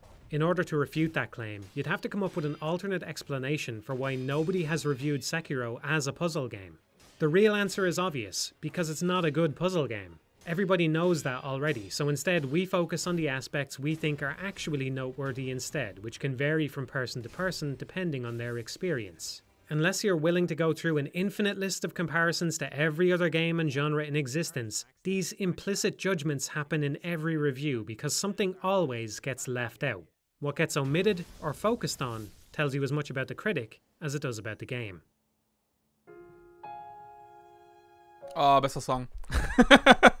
das eine Mal, dass ich Evil Within Footage in einem Matthew Matosis Video sehen werde für, für den Rest meines Lebens. Äh, ich würde das gerne mal, ich würde das echt gerne mal streamen sehen, tatsächlich. das, ähm, ich finde, das ist ein interessanter, ein interessanter Punkt, ne, weil es ja, es kommt ja, deswegen ist es ja, du kannst dieses, dieses Objektive ist ja, äh, oder, oder beziehungsweise halt auch diese, diese Referenzpunkte. Es ist halt schwer zu sagen, weil auch, ne, ich meine, ich, mein, ich finde das äh, deswegen auch so interessant, dass das God of War Video, weil es also die Case Study von ihm ist, dass er dann die ganzen Punkte eben miteinander vergleicht und das Spiel macht das Spiel, äh, das Spiel macht das besser und das macht das besser und das macht das besser und das macht das besser. Wo ich auch eigentlich dann so sage, ja. Auf der anderen Seite ist es eben so, wenn du halt immer nur jeden Aspekt gegen das Beste ist, was es irgendwo anders mal war, äh, reduzierst du es halt auch ein bisschen zu sehr, aber bei God of War ist es halt mehr das Problem, dass du diese ganzen Aspekte hast und die halt nicht zusammenpassen. Oder beziehungsweise, dass, dass, dass Konflikte entstehen zwischen diesen Punkten. Aber du dann, ne, du hast halt weder diesen einen Punkt, den es, den es herausragend macht, noch hast du irgendwie, dass, dass die ganzen Punkte sich halt gut zu etwas zusammenfügen. Äh, sondern so auf beiden Ebenen hat es dann, hat es dann irgendwie versagt. Es ist halt bei diesen Referenzpunkten immer sehr schwer, weil das eben auch dann dazu führen kann, dass du in gewisse Fallen reintappst. Und ich meine, das haben wir alle, das, das habe ich auch. Dass du halt dann irgendwie diesen einen Aspekt hast du in ein oder zwei Spielen drin, wo es eben so herausragend ist. Und dann kommt irgendein anderes Spiel heran. Das macht's halt gut, aber es macht's halt nicht ganz so gut. Und dann kannst du halt immer wieder sagen, ja, aber das war, das haben wir halt hier schon, schon besser gesehen. In einer gewissen, in einer gewissen Form. Wenn halt die Sachen sehr stark miteinander, äh, miteinander vergleichbar sind. Und ich muss halt auch sagen, dass ich es dass, dass ich es wichtig finde, dass du diese Referenzpunkte hast. Ich meine, das sagt er ja auch, dass die, dass die Kritik, also eine interessante Kritik und ne, das ist ja was Unterschiedliches. So diese eine interessante Besprechung oder Perspektive zu einem Spiel ist ja was anderes, als wenn du jetzt wirklich versuchst, zu dem Kern irgendwie da dahin zu kommen, was Sachen gut oder, oder schlecht machen im, im Vergleich zu, zu allem anderen. Weil die Perspektive ist ja, ne, das ist ja genauso äh, eine Perspektive von jemandem, der noch nie einen RP, äh, noch nie einen JRPG gespielt hat. Und der spielt jetzt sein erstes JRPG. Ist halt genauso interessant wie, wie jemand, der alle JRPGs gespielt hat und dann irgendwie über was Neues rauskommt und dann redet oder so. Ähm, das sind halt zwei unterschiedliche Perspektiven. Aber wahrscheinlich wird dir die Person, die mehr Erfahrung hat in dem Genre, mehr dazu sagen können. Genauso wie jemand, der Expertise in Autos ist, also der irgendwie von, von Sportautos halt richtig viel Ahnung hat und auch unter der Haube und alles vergleichen kann äh, das ist das Video von jemandem, der noch nie, wie ich, noch nie ein Sp Sportauto gefahren, gefahren ist und die einfach nur über diesen, aus der Perspektive raus was erzählt, kann wahrscheinlich genauso interessant sein, wie, wie irgendwie der Experte darüber redet.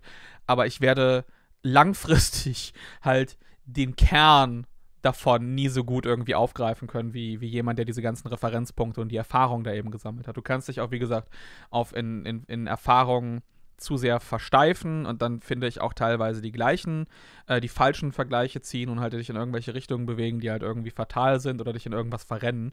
Das ist halt immer da. Aber ja, generell würde ich sagen, es ist wichtig, so viel, also eben auch als Kritiker, es ist wichtig, so viel wie möglich zu versuchen, irgendwie äh, zu, äh, ich will sagen, irgendwie zu erleben, aber auch versucht darin halt nicht einfach nur blind in irgendwas, so, okay, das und das und das und das und das und das und das, irgendwie alles Mögliche, sondern eben, okay, das ist irgendwie, ein, scheint ein wichtiger Referenzpunkt in der Historie zu sein oder das sollte ich mal ausprobieren. Das sind die Genres, da habe ich einen, ich einen Blindspot, was wäre irgendwie gut? Oh, das ist ein gutes Beginner-Einstiegsspiel da, ah, das ist diese, dieser Genrekönig, der aktuelle, das ist irgendwie der historische Einstiegspunkt, wo das Genre begründet wurde oder ein Klassiker, wo alle drauf, äh, wo alle drauf hinweisen. Ich glaube, das ist wesentlich interessanter. Du musst auch teil, ne, ich meine, du musst teilweise auch aus der kompletten Komfortzone aller Leute aussteigen. Ansonsten wirst du halt nie diese speziellen super nischigen Titel finden, die irgendwas Interessantes gemacht haben oder vielleicht auch sogar was besser gemacht haben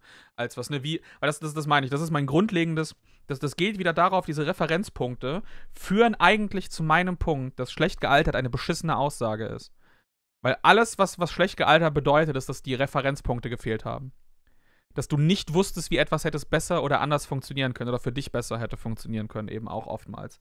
Dass du es einfach nicht wusstest, dass du diesen Referenzpunkt noch nicht ähm, noch, noch, noch nicht hattest. Und dass oftmals halt Dinge auch, gerade auch in der Fachpresse, dann so, auch, so hochgelobt werden, im Gegensatz zu anderen Leuten, die halt mehr Erfahrung darin haben, weil die einfach wissen, was noch, oh, ja, okay, das ist vielleicht ganz cool, wenn du es noch, wenn du noch nie sowas gesehen hast. Aber wenn du die Erfahrung darin gesammelt hast, dann, dann haben wir, dann ist es so, ja, okay, aber das wurde schon irgendwie besser umgesetzt und so und so und so und so. Und wenn du die Erfahrung auch hättest, würdest du auch wahrscheinlich, du musst nicht zustimmen, aber die Wahrscheinlichkeit ist garantiert irgendwie hoch, dass du, ähm, dass du dann, dann zustimmen, zustimmen würdest. Ähm, das ist, glaube ich, eher das, das, das Ding. Ne, dass du dann eben auch so von flashy Graphics dann dich halt eher beeindrucken lässt. Und dann gibst du dem Spiel eine höhere Wertung und dann kehrst du Jahre später zurück und es ist so, oh, die Grafik beeindruckt mich gar nicht mehr. Und jetzt finde ich deswegen das ganze Spiel das ganze äh, Spiel schlechter, weil, weil, weil ich mehr auf dieses, dieses Neue und Beeindruckende irgendwie geachtet habe. Und das ist ja eigentlich das Gleiche wie jemand, der, wie er in diesem Beispiel, ne, ist halt sehr sehr, sehr hypothetisch bis an die Grenze gezogen. Jemand, der noch nie irgendwie was, was überhaupt gesehen hat und dann an so ein Spiel drankommt. Weißt du, hol irgendwie jemanden aus, äh, mit der Zeitmaschine aus, aus 1984 oder so, nachdem er irgendwie Super Mario Bros. gespielt hat und setzt den vor Mario Odyssey. Der Typ wird wahrscheinlich, äh, also erstmal, weil er sieht, wie scheiße die ganze Welt geworden ist. ähm, äh, aber wird wahrscheinlich durchdrehen. Das ist so das, das beste Spiel, was, was er jemals irgendwie erlebt hat. Und aus der Perspektive ist es ja auch, auch vollkommen korrekt. Aber er hat die ganzen anderen Mario-Titel davor nicht gesehen. Er weiß ja gar nicht, ob er vielleicht doch Mario 64 präferieren würde oder Galaxy oder Galaxy 2 oder 3D World oder einen Haufen anderer Plattformer, die die Sachen irgendwie anders gemacht haben. Das ist ja. nach dem nächsten Matthew wieder haben wir die 24 Stunden erreicht. Deswegen gucke ich die Sachen aber auch so gerne, weil da einfach so viel drin ist. Da ist einfach so viel drin und so viele Ansätze, über die du halt sehr viel reden und drüber nachdenken kannst.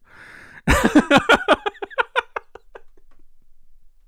ist das längste, wenn ich nachher die Segmente schneide, wenn ich nachher die Segmente schneide, dann ist das, das längste ist halt dieses Video. oh. Uh. Ich, ich wäre mehr daran interessiert, mehr Kritiken in bestimmten Lesarten oder herausgenommenen Aspekten zu lesen. Ja, ich meine, deswegen ist es ja wichtig, mehrere Leute zu haben. So, ich finde es wichtig, dass du, ich habe halt lieber mehrere Kritiker, die ihre äh, die, die, die, die Spiele auf ihre Weise betrachten, als irgendwie, dass jeder alles aus allen Perspektiven und die Lesarten und sonst was hat.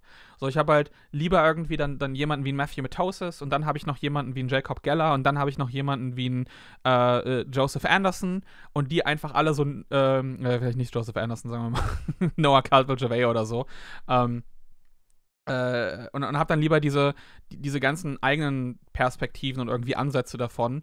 Äh, und das finde ich ist das Wichtige. Das, das Problem ist, glaube ich, immer, wenn du nur eine Richtung hast, wenn du halt immer so eine dominierende hast und vor allem diese jahrelange, zeitlange klassische äh, Mainstream-Presse und dann in Deutschland ja noch mal schlimmer, wo ja irgendwie gefühlt alles, wo wir immer noch in den, den 90, 80ern ähm, irgendwie, irgendwie feststecken und dann natürlich auch, weil die Leute immer noch die erfolgreicheren propagiert werden und die sich halt nie oder kaum noch gefühlt in Zonen begeben, wo sie was Neues dazulernen müssen oder andere Perspektiven aufgezeigt bekommen und dann eben stagnieren.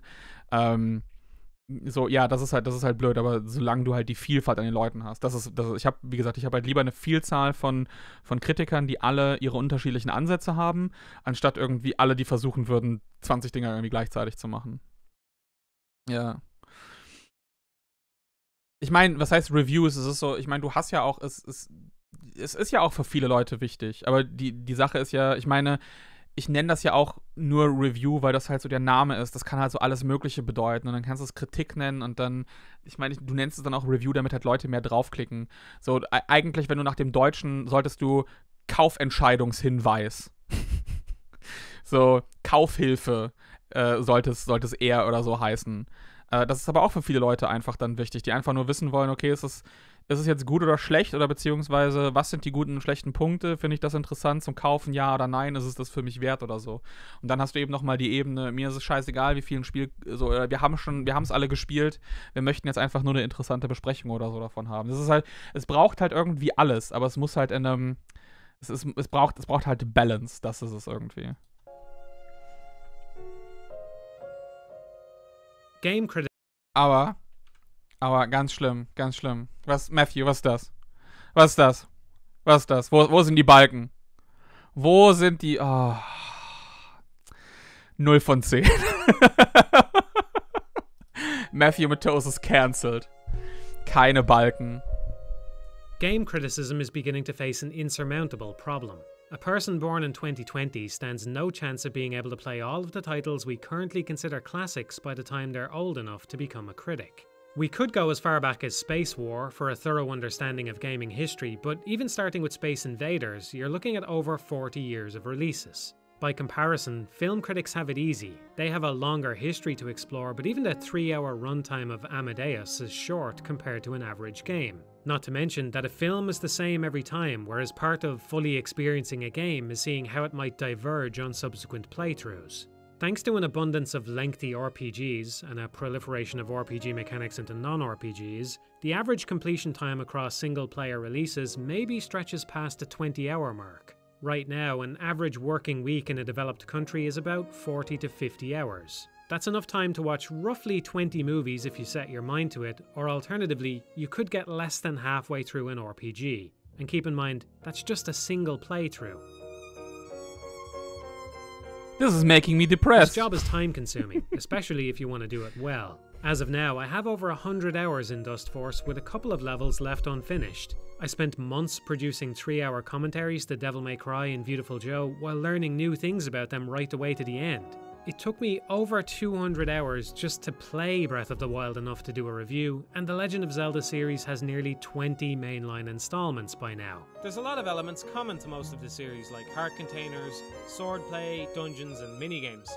Even though these can cause the series to feel a little samey, especially considering how many installments there are, the Zelda games are not afraid of change. Even though I've done almost nothing but play games since I could hold a controller, I've had a lot of difficulty keeping up. I'm still not as familiar with shoot 'em ups, fighting games, or CRPGs as I'd ideally like to be, but I think I arrived at a time when it was possible to dig into stuff from before my birth while still staying abreast of new releases. If one were to ask me, it all really begins with the so called golden age of arcade games Space Invaders, Pac Man, Defender, Cubert, Frogger, Donkey Kong, and so on.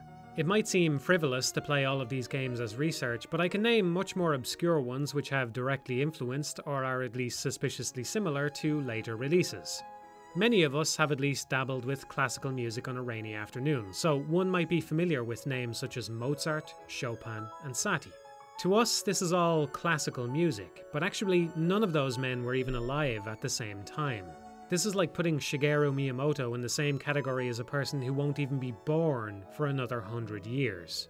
Thankfully, knowledge of history can be crowdsourced to all of humanity, but even this collective memory has its limits. Over time, the past gets more and more compressed until only the most important points remain. You can think of every classic as a peak on a mountain. The tide keeps rising, drowning out all the lower peaks. As the water gets higher, the average distance between peaks just keeps getting wider. To the casual music listener, most of Mozart's contemporaries, like Salieri, have drowned, and someday he might too. Of course, Mozart's creativity lives on in all the things that were inspired by him, and even if the man himself is forgotten someday, his influence on history will remain immeasurable. Still, I feel privileged to have lived at a time when a single person could have comprehensive experience with the entire medium of games. Some genuinely amazing titles, like Alien Soldier, are already struggling to stay afloat in the collective consciousness. Give it a hundred years, and even dedicated critics probably won't have time to explore the Mega Drive's library for themselves. Keep in mind, new Mega Drive games are still being released, and the rate of total releases for all platforms has increased over time. There will come a day when some prominent critic won't even know what a Mega Drive was. In that future, they'll have to rely on retro specialists to highlight the best games available for each old platform. This necessitates a certain level of cooperation and trust. You have to place your faith in those specialists to do their job well. If you happen to be listening to this from the world of tomorrow, then you might pity me for the games I never got a chance to play, but there was an advantage to living now. I've completed a comparatively large percentage of the total games ever released. Given the amount of shovelware, that number might not even crack 1%, but it's relatively high, higher than it ever will be for subsequent generations. There's something reassuring about having such a self contained baseline. If games have taught me anything, it's that the good guys have a way of winning in the end, but it doesn't happen without struggle. Highlighting the truly outstanding titles of today is a necessity to avoid stagnation because everything stands on the shoulders of what came before. If we can all help the cream rise to the top, then we'll all collectively benefit from better games in the long term too.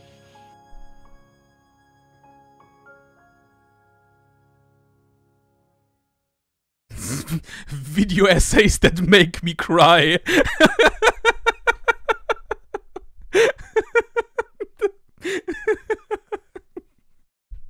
Das ist, ja, das ist so, das ist, das ist wirklich so fucking depressing. Also gerade auch aus, aus meiner Mir Perspektive. fällt keine gute Nachricht ein.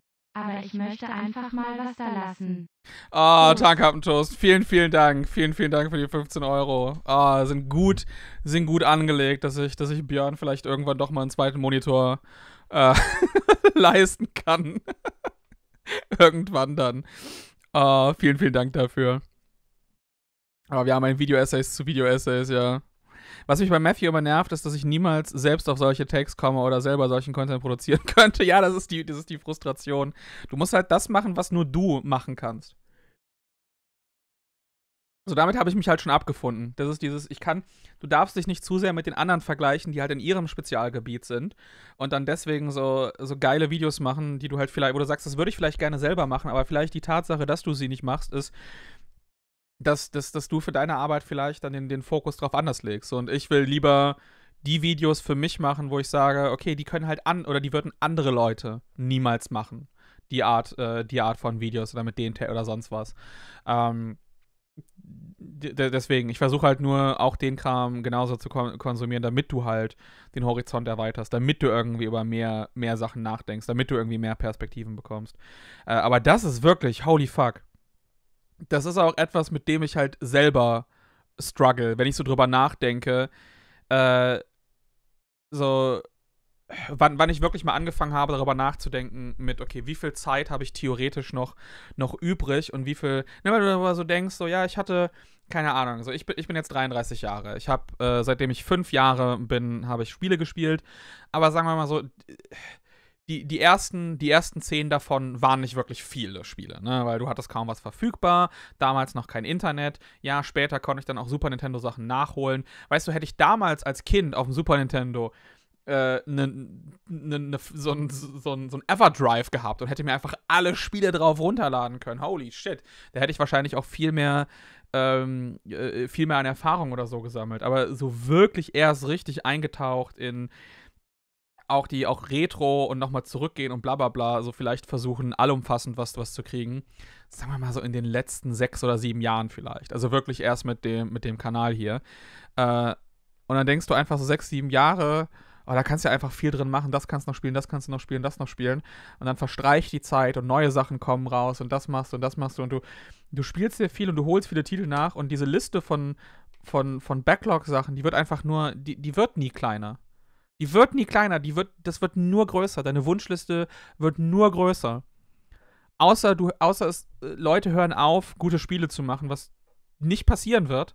Und es wird wahrscheinlich einfach nur immer mehr, weil immer mehr Leute inspiriert werden, weil es immer einfacher wird, zumindest auch Spiele für sich zu entwickeln oder sonst was. Was meinst du, wie viele geile Sachen wahrscheinlich irgendwie auf itch.io rum, äh, äh, rumlagern, aber du, du müsstest ja überhaupt die Zeit investieren, da die Sachen rauszusuchen. Ähm, und äh, alleine jetzt nur einen, zum Beispiel ein Genre, was halt relativ, wo die Spiele relativ kurz sind, Beat'em Ups. Ich habe mich ein oder zwei Wochen mit nichts anderem auseinandergesetzt mit Beat'em Ups. Ich habe ein besseres Verständnis über das Genre bekommen. Ich habe über die ganzen Titel gelesen, mir die Sachen rausgesucht, geguckt, für welche Systeme und wie ich sie am besten spielen kann und habe mir eine Liste angefertigt. Und ich habe auch 20, 20, 30 Titel davon dann tatsächlich sogar durchgespielt in der Zeit, ne? Weil das sind halt meistens Spiele, die eine halbe bis eine Dreiviertelstunde gehen. Ähm, aber ich habe noch auf dieser Liste noch 150 locker übrig. Und das ist ein kurzes Genre. Und wenn ich das vergleiche mit diesem JRPG-Buch, wo ich fast noch mehr Spiele habe, die ich nachholen möchte, die mich interessieren. Und die durchschnittliche Spielzeit von diesen Titeln ist 20 Stunden. Und selbst wenn ich nur sage, ich möchte einen gewissen Eindruck davon bekommen, dass ich gut darüber reden kann, dann sind es mindestens fünf, dann kann ich nicht eine halbe und eine Dreiviertelstunde verbringen, dann, dann sind es mindestens drei, vier, fünf Stunden in jedem Titel. Und dann bist du auf einmal tausend Stunden nur damit beschäftigt, ein Genre irgendwie zu, äh, zu entdecken. Und das, sind, das, das ist etwas, was andere Leute klar in ein, äh, in ein Spiel teilweise packen. Äh, und das ist auch noch eine Erfahrung, die du halt nicht teilen kannst. Du kannst nicht irgendwie die Erfahrung haben von äh, richtig tief kompetitiv abzutauchen, richtig tief in ein MMO abzutauchen, richtig tief in Fighting Game abzutauchen, richtig tief in, ähm, in irgendwie Speedrunning abzutauchen und das selber für dich mal irgendwie so zu, zu erleben und wie das ist. Du kannst halt dich auf ein paar Sachen konzentrieren, äh, du kannst in alle vielleicht mal irgendwie so reindippen, aber irgend, irgendwelche Sachen musst du liegen lassen. Irgendwelche Sachen musst du liegen lassen und, und für dich halt gucken. Und diese Realisation, dass es selbst so, ich könnte mir jetzt, ich könnte jetzt wirklich sagen, einfach das nächste Jahr, ich fokussiere mich auf nichts anderes außer JRPGs. Und das einzige an neuen Releases, was ich spiele, sind maximal JRPGs. Dann werde ich nach diesem Jahr wahrscheinlich einen größeren Eindruck haben. Aber die Zahl von, entweder kann ich mich darauf fokussieren, Spiele durchzuspielen, was selbst wenn ich das ganze Jahr nichts anderes mache, weißt du, selbst sagen wir mal mit Arbeit und Freizeit, sind es 100 Stunden in der Woche die ich, äh, äh, die ich, die ich mit den Sachen verbringe. Ne? Das ist meine komplette Arbeit und Freizeit, die, die 100 Stunden in der, äh, in, in, in der Woche oder so. Ich weiß gar nicht, wäre das überhaupt möglich mit, warte mal, 4, 24 mal 7? Ja, 186, so, dann, dann ist es wirklich nur Arbeit und Freizeit, keine Ahnung, dann machen wir einfach mal 80 Stunden. Das ist so irgendwie 8, ist keine Ahnung, ich weiß es nicht, 80 Stunden Freizeit und, und Arbeit zusammen irgendwie so, ne, mit Wochenende, bla bla bla. Äh, sagen wir mal, das ist so ein extremer Fall. So 80 Stunden die Woche und dann das eben mit den 52.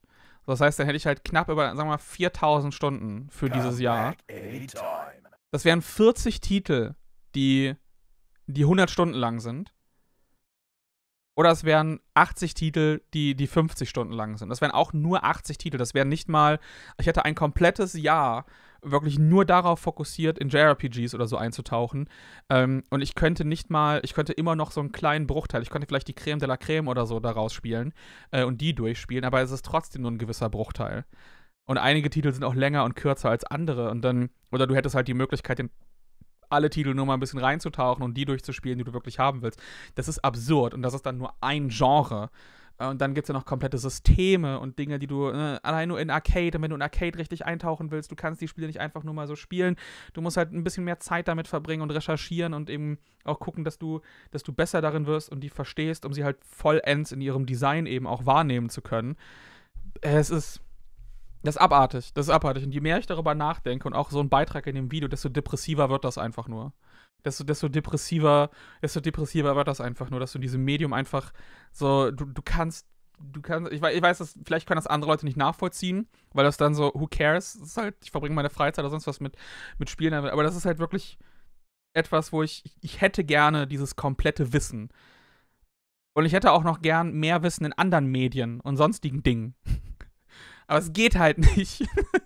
du musst irgendwo, du musst irgendwie die Kompromisse eingehen und einfach das nochmal, wenn du es halt wirklich durchrechnest, wie viel Zeit du tatsächlich theoretisch hast, selbst im, im Best-Case-Szenario, ähm, und, und dann mal dagegen überstellen, was es wirklich an Zeit dauern würde, das und das zu machen, äh, gehst du, gehst du zugrunde. Oh. Ja, das ist halt so die Sache. Ich spiele absolut nach meinem, nach meinem Pacing. Mein Problem ist eher, dass ich Dinge hundertmal anderen Sachen replay oder in Online-Games mehr Zeit reinstecke, als ich möchte. Ja, zum Beispiel, das ist auch die Sache. Ich, aber ich, ich habe, äh, kompetitiv bin ich zum Beispiel vollkommen desinteressiert. Das heißt, äh, ich, ich habe ich bin jetzt niemand, der deswegen irgendwie in, in Online-Dinge oder so verfällt, aber beziehungsweise auch meine, mein, mein Wille oder beziehungsweise mein, mein Ziel und das, wo ich am meisten Spaß mit dran habe, einfach so ein Medium komplett zu erkunden oder einen Creator oder sonst was komplett zu erkunden und darin einzutauchen, das ist so viel höher als alles andere. Deswegen fällt es mir schwer, in einzelne Spiele 50, auch nur 50, 60 Stunden zu investieren. Maximal, wenn es die Hauptstory ist. Das ist selbst, wenn ich Spiele, die ich liebe, die spiele ich dann zwischendurch immer und immer wieder. Wie zum Beispiel mal ein Evil Within oder so. Da, da tauche ich dann zwischen, das spiele ich dann immer nochmal, nochmal, nochmal, aber äh, mich halt in so einen Action-Titel am Stück mal wirklich für einen Monat oder zwei 100 noch was Stunden oder so reinzusetzen, um halt richtig, richtig gut auch da drin zu werden, das fällt mir halt wirklich schwer, weil ich dann sehe an neuen Releases, die, die vorbeiziehen, an alten Sachen im Backlog, die größer werden und sonst was. Und das ist. Deswegen springe ich einfach zwischen vielen Sachen immer, immer so hin und her. Und das Problem ist, dass ich dann gefangen werde, teilweise eben, was ich dann meinte, von diesen kurzen Loops, die mich dann kriegen, wo ich so, so fünf oder zehn Stunden vielleicht in irgendwas reinstecke, was, was ich vielleicht nicht hätte machen sollen. Aber ich habe zumindest nicht diese Fallen von irgendwie 100 oder sonst was. Oh, vier Stunden Schlaf, let's go, ja. Uh, das ist Paartherapie, ja. Oh, einfach unsterblich werden, das war das Beste. Oh, ich nerv, ich nerv so lange damit, bis es adressiert ist, was ist mit Büchern. Was ist mit, was ist was mit Büchern? Äh. Ja, ich weiß, ich weiß nur nicht, du hast nochmal mit, mit Büchern äh, gesagt, aber der Sound Alert kommt doppelt raus, weil das halt über die Desktop-Audio noch, das kann ich, das kann ich hier, ich kann das nicht ausstellen. So entweder der Sound Alert kommt, kommt für mich nicht raus, oder er kommt, also entweder er kommt nur für euch raus, oder in dem Fall für euch, äh, für euch doppelt raus. Anders, anders kann ich anders kann ich so nicht handhaben, weil ich weiß nicht, wie ich, wie ich Audio, ich müsste Audio über etwas anderes abgreifen als über das, also meine Audio, die ich höre, müsste etwas anderes sein als der Desktop. Ähm, keine Ahnung, wie ich das mache. Deswegen, das ist, wenn, wenn ich, wenn ich Desktop-Audio äh, aktiviert habe in solchen Sachen beim Video gucken und, und so, äh, geht leider nicht anders. Keine Ahnung. Muss ich dann, muss ich dann immer. Uh, ja, vor allem, weil ich erstmal 22 genug Geld für Games hatte, deswegen will ich pro Jahr 100. Ja, ja, genau, das ist halt dieses auch, dass du in der Anfangszeit so. Und dann denke ich mir so, oh, hätte ich doch früher dieses Verständnis dafür gehabt, dass ich wirklich mehr Zeit mit Emulatoren verbracht hätte, äh, und, und da irgendwie oder, oder mehr Zeit schon in früher in Spiele einzutauchen oder so, das ist irgendwie, das ist irgendwie sehr schade. Äh.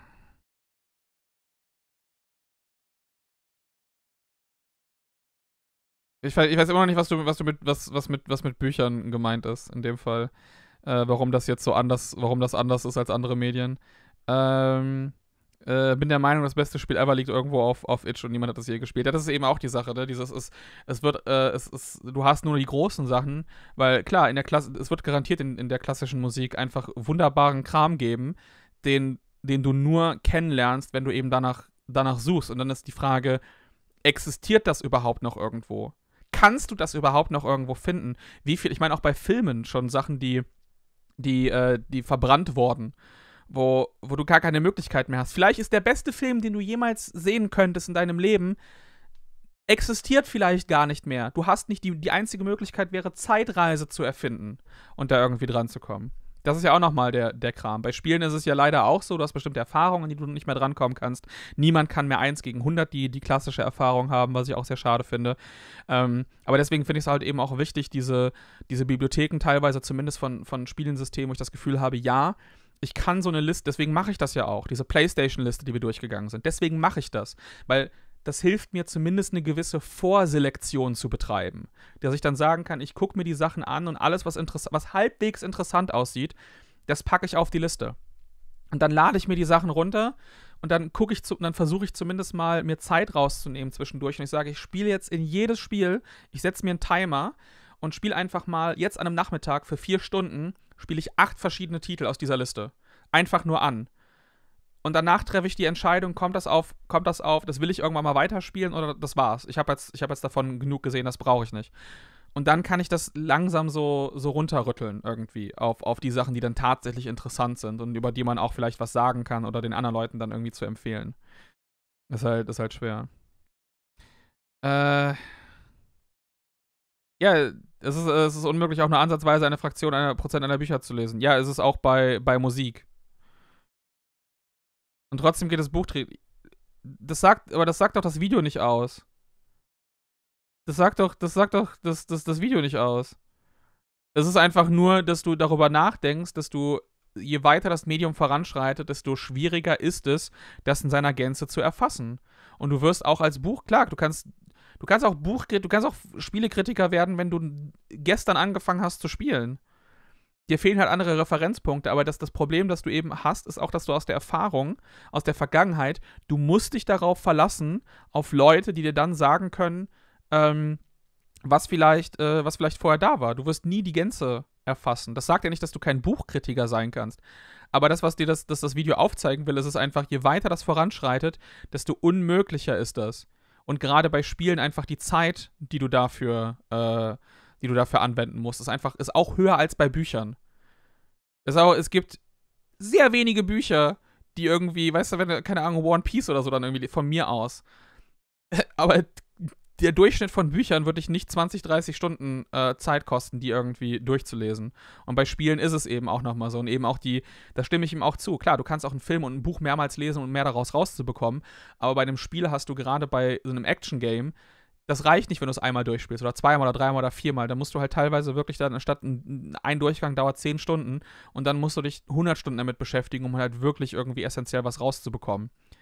Äh, und das nur aus dem Gameplay. Und dann, wenn du Spiele, die halt mit der Handlung hast, dann hast du auch das gleiche Problem. Also das ist so, da, darum geht's, finde ich, in dem, dem Video halt überhaupt nicht. Ab nächstem Jahr kann niemand mehr Babylon's Fall spielen, ja, genau. wenn es niemand kennt, ist es dann wirklich gut. Das ist eben auch nochmal die Sache.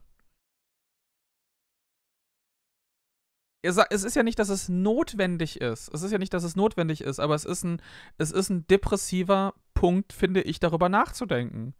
Das ist einfach diese Realisation, dass du und eben, dass du jetzt in der Lage bist, theoretisch das komplette Medium besser zu verstehen, als es, als es spätere Generationen können und dass es für die immer schwerer sein wird, ähm, darauf zurückzukommen und eben auch die Tatsache, dass gewisse, weil wenn du jetzt auf die Vergangenheit zurückblickst, so das ist einfach normalisiert, dass du jetzt nur an diese, diese, ne, diese, diese Höhen äh, drauf guckst. Aber diese Höhen sind halt auch für dich schon ausgesucht worden. Und du hast keine Möglichkeit, du hast teilweise keine Möglichkeit, diese anderen Höhen, die vielleicht da waren oder so, oder für dich da gewesen wären, zu, zu, zu finden. Und du musst dich auf andere Leute verlassen. Das wird halt bei Spielen mit der Zukunft auch immer, äh, immer mehr werden. Und ich finde, das ist persönlich auch äh, äh, traurig drüber nachzudenken, dass das, wenn ich in so ein anderes Medium so tief eintauchen äh, äh wollen würde wie in, äh, wie in, wie in Spiele, dass, dass es einfach nur schwerer wäre. Ich meine, klar, bei Filmen hast du eine größere Historie,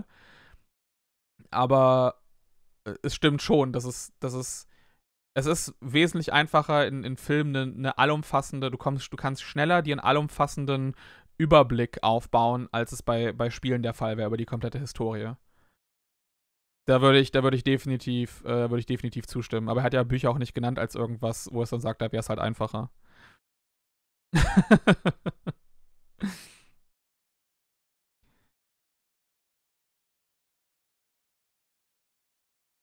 Ja, natürlich, du kannst es nicht, weil du tot bist, aber ja trotzdem, sie waren ja trotzdem mal da und du hast keine Möglichkeit, da dran zu kommen. Äh, ich, ich, weiß, ich weiß nicht, wo das. Ich weiß nicht, wo das irgendwie, wo das äh, wo das irgendwie schlimm ist, das aus der Sicht zu betrachten und darüber nachzudenken, weil es wird nichts wertend in diesem Beitrag genannt. Da ist keine, keine Wertung drin, aber ich finde halt genauso, ähm, äh, genauso schade, dass es darüber nachzudenken, dass halt bestimmte Dinge einfach wegfallen und die fallen jetzt schon weg. Die Titel, die er genannt hat, sowas wie Alien Soldier und sowas, da, da musst du jetzt schon für kämpfen, die irgendwie in das kollektive Gedächtnis wieder, rein zu, wieder reinzurücken. Äh, und äh, wirst das wahrscheinlich nicht schaffen. Und die werden dann einfach nur noch mit der Zeit immer weiter wegfallen und dann drüber nachzudenken, was, was an, an Kunst du wahrscheinlich nie zu Gesicht bekommen wirst, was dir vielleicht gefallen hätte oder was du lieben würdest. Und du hast keine Möglichkeit, da irgendwie dran zu kommen. Oder es ist einfach super schwer, überhaupt da irgendwie einzutauchen mit ohne Referenzpunkten.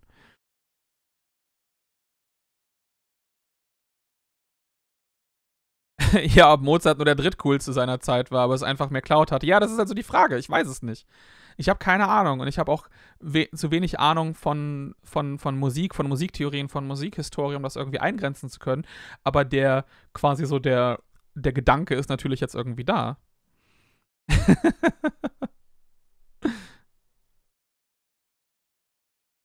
das, ja, einfach nur das, ich, ich verstehe, also das ist so, warum, warum sollte man nicht drüber, drüber traurig sein, dass du, dass du nicht etwas vollumfänglich erleben kannst? Das ist genauso, wie ich traurig darüber bin, dass ich nicht 5000 verschiedene äh, verschiedene Möglichkeiten von, von Leben irgendwie durchgehen kann. Dass ich nicht irgendwie in den einen Referenzpunkt äh, gehen kann, wo ich die Entscheidung getroffen hätte. Oder wo ich sagen kann, ich hätte gerne mal einfach die, wie wäre es, wenn ich mich fünf Jahre lang auf Speedruns fokussiert hätte? Wie wäre es, wenn ich äh, die Erfahrung gemacht hätte, irgendwie in der F, äh, FGC oder so, in das Spiel, in das Spiel, in das Spiel, in das Spiel. Wie wäre es, in den Sport einzutauchen, das Ding zu machen und sonst was. Du kannst dich nur auf gewisse Punkte festlegen und ich finde es genauso traurig, dass ich einfach mich nur auf, ich kann mich nur auf diesen einen Weg festlegen und ich kann nur bestimmte Dinge auf eine bestimmte Intensitätlevel erleben und irgendwie vollumfänglich erfangen. Du kannst nur so und so viele Sachen lernen, so und so viele Sprachen, so und so irgendwas. Und ich finde das fucking, und ich finde das in allen Bereichen scheiße, traurig und unfair, dass du es nicht, dass du es nicht vollumfänglich, dass es unmöglich ist, dass du es gar nicht erst die, die Möglichkeit hast dazu, dass du gezwungen bist, Dinge wegzulassen. Und auch das Wissen darüber, oder zumindest die, den, den Verdacht, dass es Dinge gibt, die dir gefallen hätten, die du, die du vielleicht sogar mehr mögen würdest als andere Sachen, die dir vielleicht sogar Inspiration oder sonst was gegeben hätten, auf die du niemals kommen wirst, die du niemals finden wirst oder die einfach nicht mehr existieren. Und das finde ich generell einfach, das ist darüber, nach, darüber nachzudenken, finde ich, ist einfach vollkommen legitim zu sagen, das ist scheiße.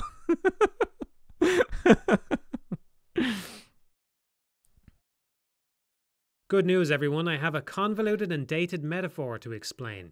Games are like pennies in the take a penny, leave a penny tray. Some developers leave a cent behind, whereas others are just grabbing whatever they can.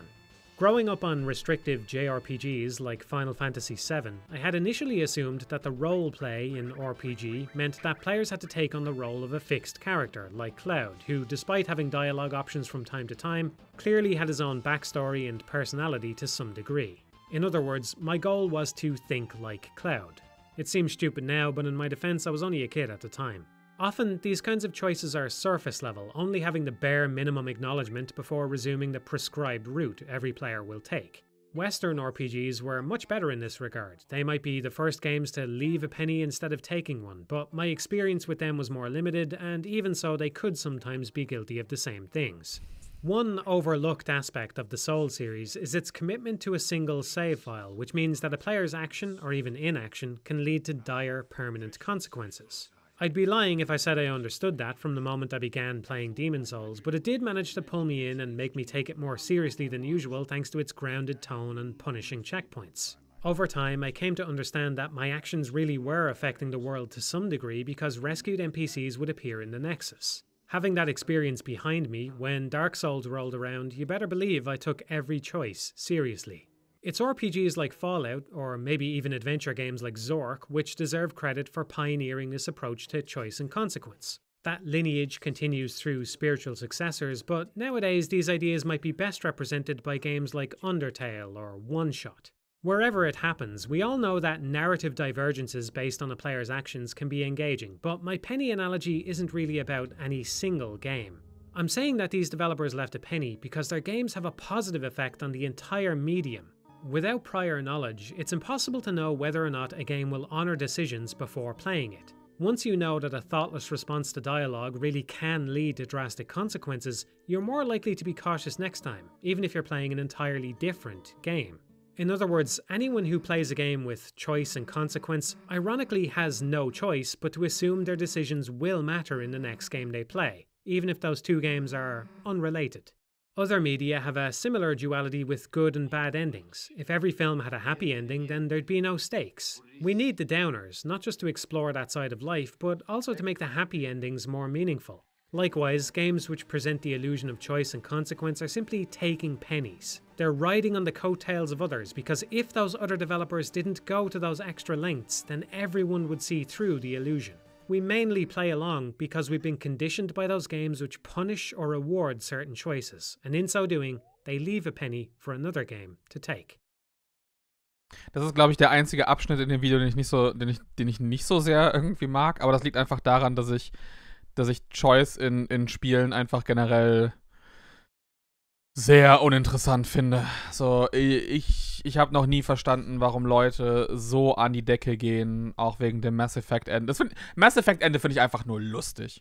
Mass Effect 3 finde ich einfach nur lustig, dass die BioWare so gesagt haben, oh, die Entscheidung über die ganze Trilogie und am Ende ist es einfach die Farbe von deinem fucking Laser, den du beeinflusst. Das fand ich einfach lustig aber das war mir scheißegal. Da hatte ich, da hatte ich null Investment drin. Und auch bei den anderen Sachen ist es einfach so, oh ja, meine, meine, meine Entscheidungen haben keine Auswirkungen gezeigt. Who gives a shit, ehrlich gesagt. Es ist mir so egal. Ich finde das interessant, wenn du so Spiele wie Visual Novels hast, wo du verschiedene Enden durchgehst, wo du halt einfach siehst, was wäre passiert, wenn, wenn der Charakter das jetzt gemacht hätte oder wenn die Entscheidung anders gewesen wäre. Aber dieses, meine persönliche Entscheidung und das, was ich gemacht habe, hat das jetzt beeinflusst. So das einzig Interessante finde ich ist, wenn es unterbewusst passiert. Sobald ich darüber nachdenke, so, sobald eine, eine Dialogentscheidung kommt, denke ich nicht darüber nach, äh, was ist jetzt irgendwie das Interessante oder so, sondern wie kann ich den, wie kann ich die Auswirkungen beeinflussen, sodass ich das bekomme, was ich haben möchte. Und das ist uninteressant. Das sagt nichts über mich als Spieler aus, das sagt nichts darüber aus, wie ich in der Situation irgendwie wäre. Ich muss kontinuierlich dann irgendwie dagegen ankämpfen, das, was ich eigentlich so, oh, okay, das ist das, was ich jetzt eigentlich haben will, aber realistisch würde ich wahrscheinlich so oder so agieren. Das heißt, ich muss gegen meinen eigenen Instinkt die ganze Zeit immer ankämpfen. Und das ist, das ist für mich etwas, was vollkommen uninteressant ist. Das ist für mich scheißegal. Also Undertale ist noch cool, weil es so ein bisschen damit, damit eben spielt und dann die verschiedenen Routen und sowas hat. Aber dieses so, oh, Walking Dead hat jetzt meine Entscheidung nicht und ich habe das und das gemacht. Das hat meine Entscheidung nicht genommen. Oh, buh, fucking who. I don't care. I don't, I don't give a shit. Und ich kann das nicht in, auf keinster Weise nachvollziehen. Ich kann das wirklich nicht nachvollziehen, warum Leute da so vehement dahinterher sind. Wo ich das Gefühl habe, hast du überhaupt Spaß an anderen, an anderen Geschichten? So, hast du überhaupt Spaß an Filmen oder Büchern?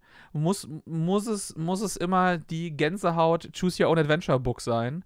Kannst du ansonsten nichts anderes irgendwie genießen, weil du keinen Einfluss auf die Handlung haben konntest? Weil es ist, das ist genau dasselbe. Das ist genau, das ist für mich genau dasselbe. Ob jetzt ein Entwickler mir was vorgaukelt oder, oder, oder nichts macht, es führt für mich zur selben Erfahrung am Ende. Es ist nachher genau die gleiche Geschichte. Und dieses, oh, da habe ich jetzt aber gedacht, da hätte ich jetzt irgendwie Einfluss drauf haben können. So, okay, hatte ich halt nicht. Who gives a shit? I don't care. Das Einzige, was ich mag, ist, wenn es durch Gameplay passiert. Wenn es einfach so, es gibt ein, keine Ahnung, durch eine Challenge kann ich ein gutes Ende erreichen, weil ich jetzt den, den schwereren Weg genommen habe und es war spielerisch eine andere Herausforderung. Aber einfach, ich habe den richtigen Dialog gewählt. I don't fucking care.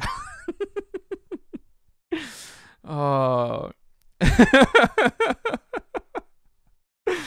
oh.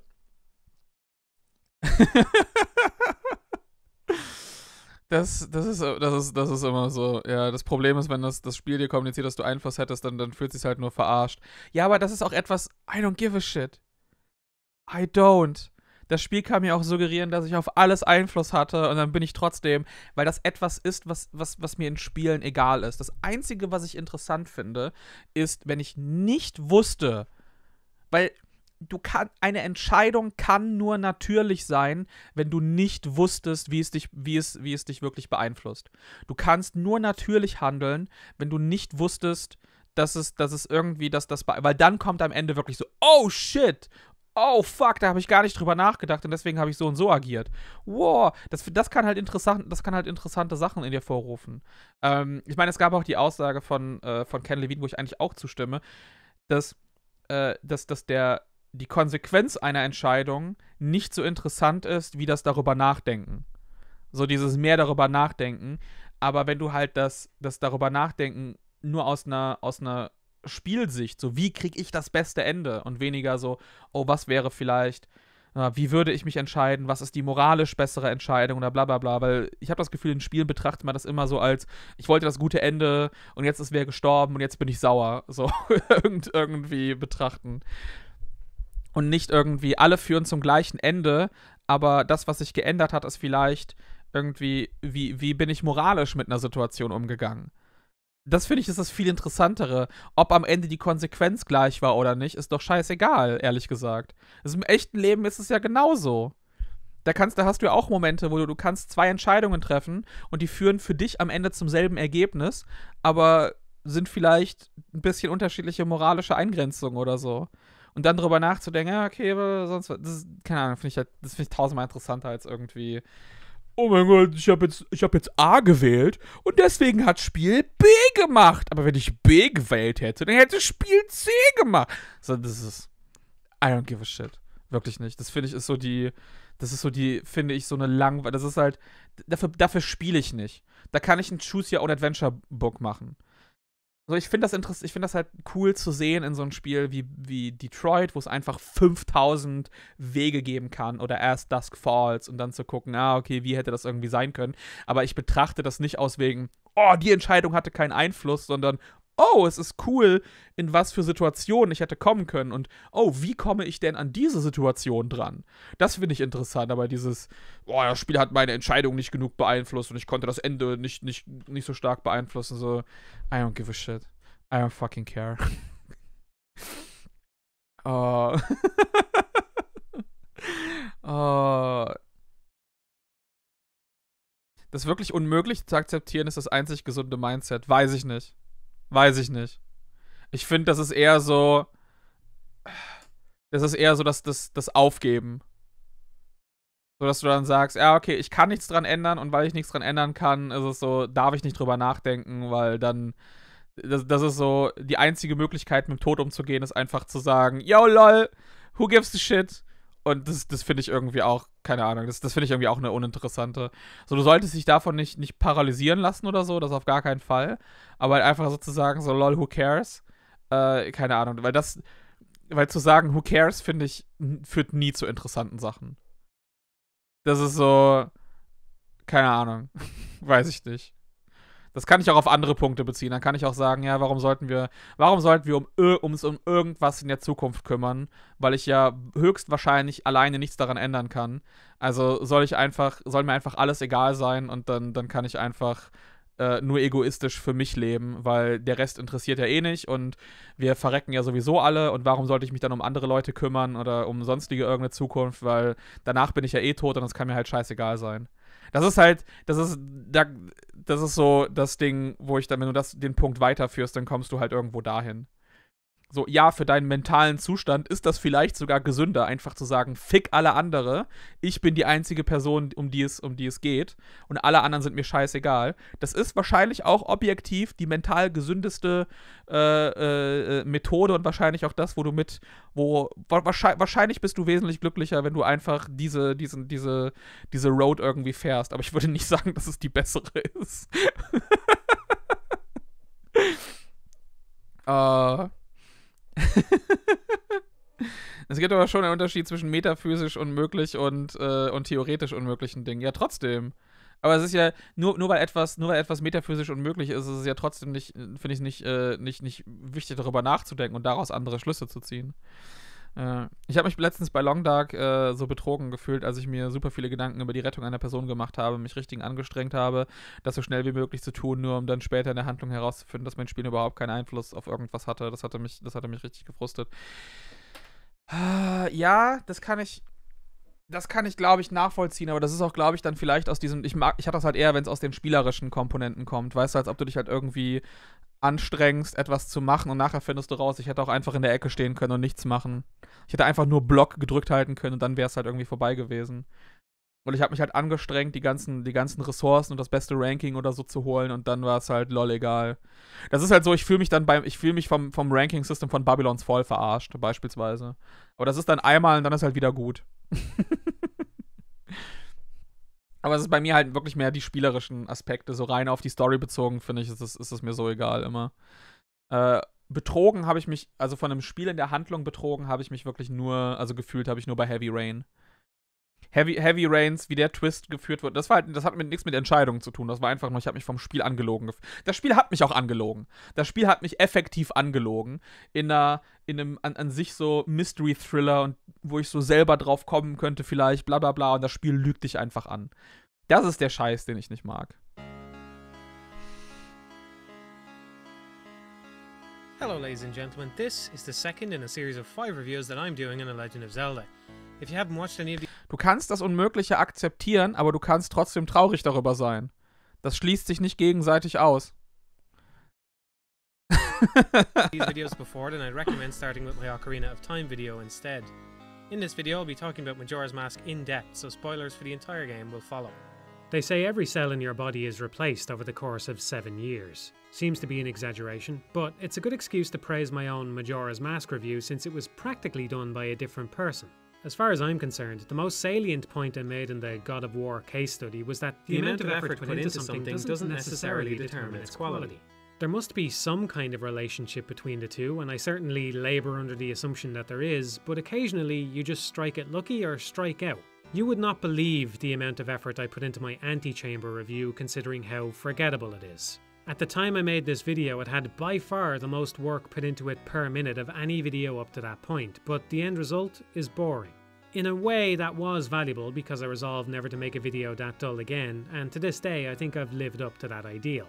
If I were to make my Majora's Mask review now, I'd probably put five times as much effort into it than I did back then, but despite that, the end result holds up pretty well, I think. There's a nice bit of serendipity here because Majora's Mask itself was made on a blisteringly fast timescale compared to other Zelda games, yet it too holds up pretty well. The bit towards the end of my review, where I play the final hour's music while discussing the atmosphere and its value as a sequel, is something I'd still be happy to have produced today, and probably justifies the video's existence by itself. More importantly for me, this was the moment when I realised my reviews could reflect the game they talked about, something I try to sneak in wherever possible. It's not a coincidence that the Sonic Dreams collection one is overtly funny, or that Nobinobi Boy's intrusion on Death Stranding could be described as quantum brow. It's a nice challenge to try to capture the essence of a game through an analytical format, but it's important not to stray too far into that territory, otherwise, the analysis becomes a pale imitation of the thing it's discussing. Even the most immaculately crafted exploration of a game's standout element could never substitute for actually playing that game. The real value of analysis is just to put vague concepts into words, because words are like a mental handhold. Once you get a grip of something using language, that grip feels more secure somehow. Even so, no matter how much a game might be understood on an intellectual level, there remains an ineffable qualia provided by interactivity which can't be experienced secondhand. Don't fool yourself into thinking otherwise. Anyway, the delusion that more work leads to a better product can be so strong, I wouldn't be surprised if at least some of the Majora's Mask team refuse to believe it's actually as good as fans say. Even if they feel that way, they'll probably never admit as much, which is a valid course of action.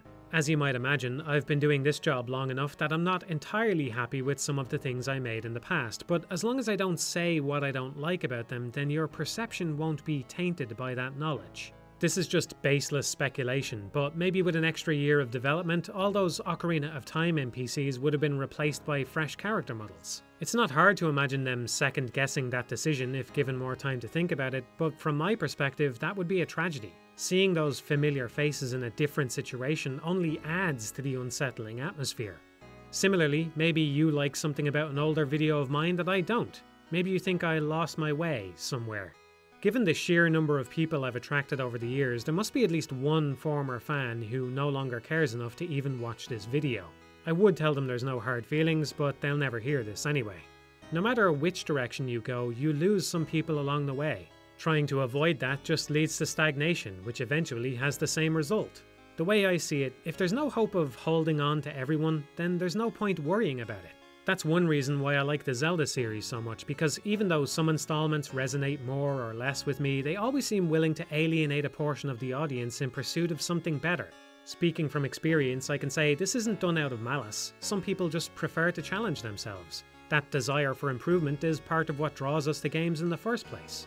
If you've ever wondered, I don't find criticism to be creatively satisfying, which might explain why I've resorted to a weirder format like this one. That said, regardless of how I feel, criticism is creative work. It just unfortunately happens to be creative work where the creativity is the least important part. Some clever editing or a well timed joke might help a viewer pay more attention, but it's the observations and explanations that count at the end of the day. In case you haven't figured it out, this is advice for you aspiring analysts out there. Good analysis doesn't have to be difficult to read or watch, but it will sometimes be difficult to make. Steer away from that difficulty too hard, and you'll end up with plenty of style, but no substance. Here's a dirty secret about creativity. Much of it is just seizing on connections you don't really feel responsible for. You might be wondering why you're watching Futurama right now. Brace yourself for this one because it's going to blow your mind, unless you're rewatching the video, in which case you already know what I'm about to say. Futurama was the inspiration for micro videos. It had nothing to do with WarioWare in the beginning. Back in 2017, I was watching this Anthology of Interest episode, which is a series of short stories. You watched it? You can't unwatch it. Stay tuned for more Tales of Interest. Not only was WarioWare not the inspiration, it wasn't even planned to be in the first collection. Initially, I was going to split them into sets of five, and WarioWare was about the eighth or ninth one I wrote. In the end, I changed my mind, thinking that a longer runtime would help the micro video concept shine. If I hadn't made that decision, then this whole thing wouldn't have kicked off with Wario. Hard to even imagine that now.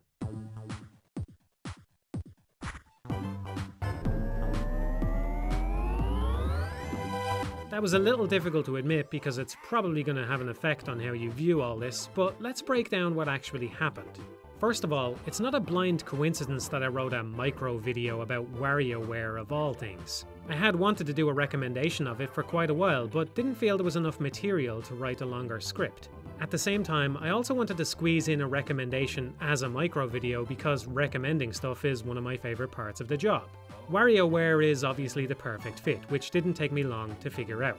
It was only when I decided to go beyond five videos at a time that all the pieces fell into place. Now, WarioWare was part of the first collection, and the question was what the track listing should be. Maybe it should be a really short one that goes in the middle as a sort of rhythm breaker, or maybe it should be the very first one.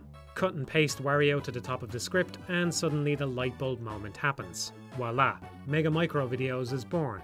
Apart from the fact that it all started with Futurama, each step in the chain is logical, and yet in a way, it feels tremendously lucky. As if that wasn't enough, the Katamari closer wasn't part of the initial plan either. Originally, I was going to close on Zero Time Dilemma, but decided to delay that one as Mega Micro Videos 2 was conceptualized. Katamari happened to be the last one left, partly because I ordered them in what I consider to be ascending levels of spoilers. Most people know how the final levels of a Katamari game play out by now, but I figured if I could preserve it as a surprise for at least one person, it was worth saving until the end. Again, I realised how appropriate it was to tie everything up into that Katamari observation about combining order and chaos, but the process which took me there seems a little meandering. If you're not a creatively minded person, this must sound like a damning condemnation of myself. I must be a woeful hack who just stumbled his way into something good. That is, assuming you think Mega Micro Videos is good in the first place. If not, I have to wonder what you're still doing here. Really though, I'm just exposing something that exists everywhere. If you think less of Mega Micro videos now that I've divulged those secrets, then you should be prepared to think less of everything you've ever consumed. A similar event must have happened at least once in the making of your favourite game. If I had to bet, I'd say that any creator putting in the time runs up against a situation like this every day if you define it broadly enough. We can't control the circumstances around us or the connections formed in our own minds, so all that's really left is just seizing the good while letting the bad drift away. I think the most important skill to making something worthwhile is just recognizing when you actually have something good. If you know your work is subpar, you're driven to improve it. If you know it's acceptable, you won't throw it away. Repeat that self reflection process enough times, and the other details hardly matter. You might not end up with what you expected, but at least you end up with something good, maybe something better than you imagined in the first place. Anyway, I'm thankful for the process which led us here, but before I finish rolling up this Katamari, I want to say what I think is the most important thing you'll ever hear. Please remember to like, comment, and subscribe. Ich finde das, immer- find das immer noch interessant, dass das ja ursprünglich sogar gedacht war als das, als das Finale, äh, das finale Video auf dem, auf dem Kanal, bis dann das Context Sensitivity äh, ihn zumindest jetzt noch einmal da, da, daraus, daraus gebracht hat. Was auch ja sehr deutlich wird, wenn man dieses, dieses Seven, äh, seven Years Earlier dann eben sieht. So, dann, dann ist es, glaube ich, sehr, sehr verständlich, warum er dann irgendwie eher in die, in die Spielentwicklung eben reingegangen ist. We did it, Reddit. Ah, Miki, wir haben noch nicht aufgehört, über, dieses, über diese letzten beiden Teile zu reden. Was denkst du denn? oh. Das ist. Das ist halt wirklich. äh, Ich meine, ich habe ja, hab ja gestern auch ein paar meiner Videos laufen lassen und ich habe die ja auch danach ausgewählt, welche, bei denen ich überhaupt noch, noch sage, das sind, das sind persönlich für mich noch, äh, noch gute Videos. Und auch an denen bin ich so. Ich, ich würde am liebsten einfach die ganzen Skripte nochmal neu einsprechen. Äh, sei es jetzt teilweise wegen der Audioqualität oder einfach nur wegen der, der Betonung von mir eben. Und wie ich, wie ich finde, dass das für mich zumindest besser geworden ist. Und ja, das, das ist es auch, glaube ich. Aber es ist. Wenn du da irgendwie so drüber, drüber zurückgehst und wie du dann die Dinge auswählst. Und das ist auch teilweise ja auch, auch so, dass ich so, ich habe ich hab Videos, wo ich dann Ewigkeiten dran sitze und du hängst dann dran und an jedem Wort und du änderst dies und das und sonst was und bla bla bla. Und teilweise ist es auch das, das, was das Video braucht. Und teilweise verrennst du dich einfach nur und dann ist es auch manchmal wichtig zu erkennen, äh, diesen, da- dass du bei der Arbeit halt nicht den, klar, für, für den monetären Erfolg ist das, ist das meistens nie gut. Äh, aber wenn du halt selber nachher mit einer Arbeit unzufrieden bist, äh, zumindest äh, schon, ne, wenn du, wenn du das rausbringst und du bist unzufrieden und nachher bist du halt auch unzufrieden, dann ist es manchmal halt auch besser gewesen, einfach Sachen zu, wegzuwerfen oder halt zu gucken, dann komme ich halt nochmal später drauf zurück und ich erzwinge das jetzt nicht. Aber es gibt halt auch Videos, wo ich das, das, ich meine, bei Evil Within, bei Evil Within 2 ist es halt so, ich habe das in einem Rela, also für die Videolänge und was da drin ist, habe ich das in einem relativ kurzen Zeitraum gemacht. Ne? Also ich habe ja das Spiel, glaube ich, im Dezember 2019 gestreamt. Im Dezember 2019 gestreamt. Und dann habe ich selbst nochmal einen kompletten Playthrough gemacht, um das Footage, was ich für, die, für das Video benutzt habe, aufzunehmen. Also habe nochmal 100% in dem, in dem Spiel eigentlich geholt. Und das war, glaube ich, Ende Dezember. Und das Video, meine ich, kam am 11. Januar 2021 raus. Das komplette Skript habe ich innerhalb von unter einer Woche geschrieben. Äh, und auch kontinuierlich. Ich bin halt wirklich dabei geblieben und ich habe da zwischendurch keine Pause gemacht. Ich habe halt wirklich in drei oder vier Tagen das komplette Skript geschrieben, das, das editiert und bearbeitet, eingenommen. Äh, und ich würde sagen, nur die von dem, von dem Moment, wo ich äh, wo ich, glaube ich, das Spiel, zumindest sagen wir mal mit dem Skript angefangen habe. Skript bis Videoende waren weniger als zwei Wochen. Und das ist verdammt schnell für so eine Art von, für so eine Art von Video und von der Länge und viel Gedanken da eben drin sind. Ne? Viel davon habe ich auch im Vorfeld an Gedankenarbeit ja schon geleistet und war halt schon fest im, im Kopf verankert, aber auch auf dem zweiten Punkt, auf dieses zweite Ding, viele dieser Connections und, und äh, Ansätze, die kommen dann halt auch teilweise erst in dem Moment. So, du schreibst über Dinge und auf einmal fällt dir überhaupt erst sowas Neues, was Neues auf oder hinzu und auf einmal bist du, oh ja, stimmt, wie habe ich denn vorher nie den Zusammenhang zwischen diesen beiden Sachen ähm, gesehen. Und das ist, das ist immer noch das beste Video, was ich in meinen Augen gemacht habe. Äh, und es gibt Videos, der, äh, ich meine, ich mag auch das, das Last of Us Video beispielsweise oder das Onimusha Video. Ähm, aber hätte ich jetzt für beide wirklich so lange spielen müssen, hätte ich Onimusha wirklich in drei Versionen, ich habe das auf der PS4, auf der Xbox One und auf der, auf der PS2 und auf der Xbox durchgespielt. Und auf der Xbox One sogar dreimal. Für die 100%. Hätte ich das so oft durchspielen müssen, so viel Zeit, um so das, das Level an Qualität zu erreichen, ich weiß es nicht. So vielleicht hätte es auch irgendwie kürzer. Also vielleicht hätte ich auch nicht so, so lange am Skript arbeiten müssen äh, und, und Dinge ausprobieren oder sonst was. Oder es gibt, es gibt Videos, wo ich halt sehr viel länger im Editing oder so gebraucht habe. Und es gibt Videos, wo ich sage, das hat sich gelohnt. Das ist vom Editing her halt hervorragend geworden. So paar Ideen, die ich hatte, beispielsweise in dem, in dem Drakengard-Video. Ich finde immer noch diese Grafiken, Animationen, die, um das, das Rhythmusspiel zu erklären, das finde ich, das hat sich vollkommen gelohnt, die Zeit da reinzustecken und das hat das Video besser gemacht. Und es gibt ein paar andere Dinge visuell, wo ich halt heutzutage denke, das könnte ich sogar besser machen und, oder irgendwie so ein Fluff, den ich nicht mehr machen würde. Und ich habe einfach zu viel Zeit damit irgendwie äh, äh, wie, wie verbraucht oder so. Das ist, glaube ich, das, das Schwierige, das für sich selber rauszukriegen. Aber ich bin auf jeden Fall nicht dieses. So, ich meine, ich würde auch gerne meine eigenen Sachen oder so machen, aber für mich ist, für mich ist die Arbeit erfüllend genug. Sagen wir mal so. Ich kann, also ich habe jetzt, ich kann mich, ich finde mich nicht wieder in diesem ähm, Analyse und sowas ist, ist für mich, äh, ist halt irgendwie kreativ, kreativ nicht genug. Da bin ich halt an dem Punkt, keine Ahnung, vielleicht, komm, vielleicht kommt man da irgendwann, vielleicht komme ich da irgendwann hin oder so, aber für mich ist das so das, was ich das Rest, mein restliches Leben machen möchte. Und eigentlich nur versuchen, besser darin zu werden und, und möglichst viele Dinge in, in dem Feld zu erreichen. Das ist, das das ist eigentlich so, so, für, so für mich meine Berufung, die ich gefunden habe. Äh, es gibt auch ein paar andere Dinge, die ich nebenher machen möchte. Es gäbe in dem Feld gerne Dinge, die ich machen würde. Ich würde gerne endlich äh, auf, ein, auf ein hervorragendes Level an Japanischkenntnissen kommen, um das dann eben auch zu benutzen, um, um weitere Spiele Leuten eben zeigen zu können, um vielleicht auch von einem gewissen Titel, den außer mir keiner beachtet, den ich wichtig finde, ähm, eine Fanübersetzung von zu machen und dann da eben auch zu lernen, wie, wie ich dann das selber eben auch diese, diese Texte und so einen Scheiß einfüge. Ähm, ich, ich hätte, es gibt ein paar, äh, ein, zwei Ideen, wo ich sage, das würde ich auch gerne in ein Spiel oder so umsetzen, aber äh, ich, ich muss mich erstmal auf eine Sache fokussieren, um in, in der Sache erfolgreich genug zu werden, dass man die anderen Sachen eben auch erlauben kann und dann sehen wir weiter. Äh, ja, Offbeat ist schrecklich. Ja. Ich meine, du kannst es halt mit dem Video machen, was ich auch da, was ich auch da gezeigt habe. Mit dem Video geht das. Du musst es halt einmal synken zwischen dem Video und dem Spiel und dann kannst du einfach auf das Video gucken und, und da die Noten drücken und dann ist es halt wie ein Rhythm Game. Oh. äh. ja, ich glaube, ich glaub, man sieht bei, man sieht am Ende immer so, was, was, was sind sonst noch Videos, die oder oder äh, äh, Sachen, die Björn in letzter Zeit gesehen hat. Ich, was ich immer halt sehr liebe, sind Videos, die ich gerade erst geguckt habe, wie dieses Not Safe for Life Video. Oder halt das Jordan Peters, das, das Brief at Jordan Peterson von Some More News, was ich irgendwie viermal das ist, das ist ein Comfort Food Video. Das ist halt eins, was ich.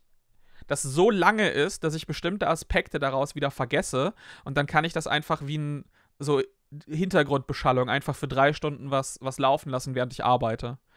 Das ist so gut, das Video, wirklich. Ah. was, ist, was ist deiner Meinung nach den schlechtesten? Ja, ja, ja, ja, ja, das, das definitiv. Ich meine, man könnte mal, warte mal, man könnte gerade mal tatsächlich, tatsächlich durchgehen. Oh, ich glaube, das wäre, warte mal. Uh, ich glaube, das könnte interessant, ich glaube, das könnte interessant sein. Ich glaube, das könnte interessant sein. Uh, warte mal, warte mal, warte mal. Gehen wir mal drauf. Kann ich das noch, kann ich das noch, äh, meine, meine Artikel nach Tests Warte mal, Übersicht. Nein, wo ist die Einteilung? Eurogamer, was habt ihr mit eurer Seite gemacht? Oh, fuck. Es gab doch, es gab doch früher mal. Ah, jetzt haben sie das nach, jetzt haben sie das nur noch zeitlich geordnet. Hi Björn, schön dich mal wieder live zu hören. Dieter, vielen Dank für die 10 Euro. Vielen, vielen Dank. Freut mich auch, dass ich wieder live bin. Oh. das Video geht ja fast zwei Stunden. Ja, drei Stunden, aber das ist auch super.